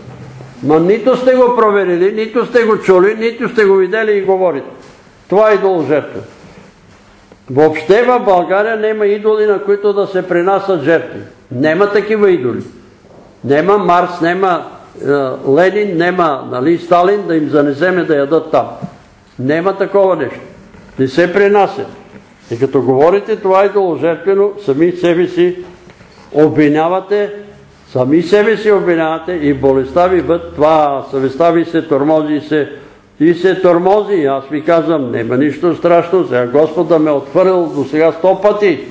Ако аз съм отишъл нали, некъде на гробища или на които и ще да се ето Пенка, наскоро е, малко с хитрост ме панаха ела, Пенка Желева е починала, тя идваше на вашите събрания, те ме изкара мене аз да я погребавам там и аз да говоря. Ми нищо. Поговорих им, това е викам положението, брат, това пет синове има, в този ковчег всеки един от вас ще легне. И аз ще легна един ден в този ковчег. Не си въобразайте, че сте вечни. Сега единственото желание сега на майка ви е да се покаете, да повярват, да повярват. Това е нейното най-добро желание.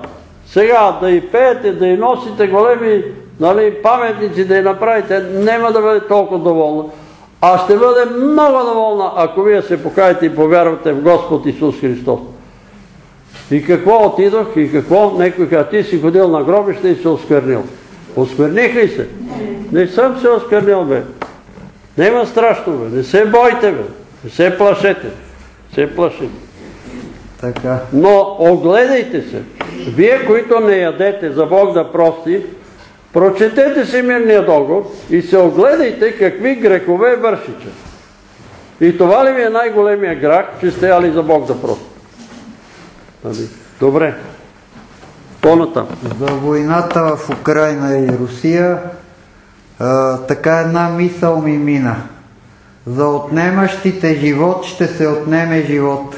Ема, ръка, която пролива кръв, ще се пролее и нейната кръв. Това е. Това е положение. Но там има, има грехове, ние сме говорили. По времето на Богдан Хмелницки учениците го учат. Велик революционер Богдан Хмелницки разбил поляците, не знам какво направил и избил 100 хиляди евреи. 100 хиляди ги избил евреи. Ама ти евреи викат пред Бога за отмъщение. И какво трябва да направи Украина? Да се покая. Да се покая. След това идва един генерал Петлюра в Украина. Петлюра. Петлюра отново избива 100 хиляди евреи в Украина. 100 хиляди. Нали? Горе-долу около 100 хиляди евреи. Белите, сега аз слушах тия руснаците, руските старци, една, попаднах на руска телевизия, руски старци и казват, червените вика, викаха на руски как беше? Гадове. На руски викаха на белите гадове. А белите викаха на червените гадове. Е, кои от тия двата вида, вика, руснаци са били истински християни? Кои? Нито нито, нито другите. Какви гадове? Те са ти братя. Поне са бели, те са гадове. Поне са червени, те са гадове. Ма те даваха в украинския парламент, двама депутати се бият като боксьори и единия щупи носа на другия. Е, Заради то- закона за корупцията. Минал само с чупен нос, не да, чупил бе. главата. Дадаха го. Да, да. Сега се сетих, като се моли малко за България, се моли за управниците, така чух, че понеже нали, те казват комунистите, с кръст сме взели, с кръст ще дадем. Сега чух така, тези, които искат с кръв да дадат, тяхната кръв ще бъде пролята. Тези, които искат кръв. Затова сега ще има и такива демонстрации.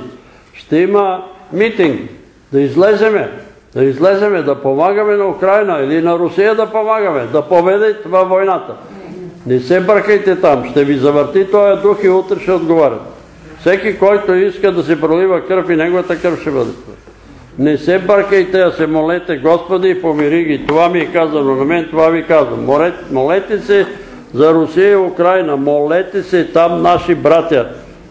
Сега колко са, но там има около 5, половин милион. 300 хиляди, 200, 500 хиляди българско национално съзнание в Украина. И те ги мобилизират едните от едната страна, а другите от другата. И ще се бият българи с българи. Ще се бият. И, това е войната. Това е войната. Господ да ги опази. И ние трябва да се молим, защото това са наши сънарод. 500 хиляди. Те нарочно омалуважават тия управни. Не, бе, не са 500, 300 хиляди. Добре и 3 хиляди да са. Това са наши сънародници там. И 3 хиляди, не 300 хиляди, 500 хиляди. А може и да са повече. Така за наводненията в България, значи виждаме една пълноводна река, обаче мръсна. И тази пълноводна река е стигнала до, до ръба на един мост. Ама бушуваща страхот, много Значи ще има наводнения. Да се молиме, и Господ да помага сега и с изсичането на тия гори. Едни са за, а аз ви казвам, преди 50 години ходих в Тетевен на гости при един мой приятел, който беше началник на горското стопанство. Вика, усекохме гората тук в Тетевенския Балкан, огромни буки, такива буки и всичко заминава за Англия и ги питаме за какво ви е толкова много варен бук. Дъб, дъб, дъб. Бук. Варен бук. А те казват, складираме го на складове. След 20 години ще ви го продаваме на десеторна цена. На десеторна цена. Това съм го чул от началника на горското в Тетеве. Масово се изсичаха горите. Сега, не знам колко милиона дърва се изсичат. Аз виждам долу камарци какво правят. Товарят тировете и заминават. Сечат горите. Сега Димчо не знам дали си спомня, един ден отидахме в Долно Камарци на площада вечерта и като поехме въздух, нещо странно. Некакъв много чист лек въздух. Озон ли е, какво ли е, не знам. Знаете ли защо? Защото Галабе целият е от Бокова гора. И тая Бокова гора пречиства въздуха. И въздуха е свеж, да не се надиши. И той вика, бе, усещам. Абе, усещам, бе, гърдите ми се разтвориха. Като че ли нещо навлиза в гърдите ми, диша чист въздух. Усичат гората, нема чист въздух. Има наводнение и порой. Това ще има. Това е положението. И казват, нема такова нещо безразборна сеч. Ето, ние отидахме с Димчо и видех там, аз имам наследствени там 8 декара, секли са наред там. Всеки кой къде се иска там е секал. Никой не ме е питал. Какво е това? Безразборна сеч. Сечат и после, олеле, за наводнини. Ми наводними. Кажи па. В Гърция, в северна Гърция Икея е построила заводи за производство на мебели и нашите камиони заминават тук с дърветината и струпите и отиват в заводите на Икея. А не може ли тия мебели да се произвеждат в България? Али може. А дървесината е много ефтина. А те си... Но те са... Това е въпрос на... Какво беше там? На усет, търговски и така нататък. Ние ще продължиме да се молиме и за тия управници да се вразумат и да не изсичат горите на България. Вземете си, тук има още една дреха, защото понякога тия дрехи изчезват и на мене са ми изчезнали някакви дрехи от дома. Аз знам какво правят. Заравят ги в гробищата и кълнат Петър Велев да умре, ама няма да стане. Ключовете на смъртта яда са в ръцете на Господ Исус Христос. Ръц- Ръцете търса си някакви дрехи там, нема ги. И гробих цялата къща, нема ги. Господ да ги помил. Добре. Да се изправим и алилуя. А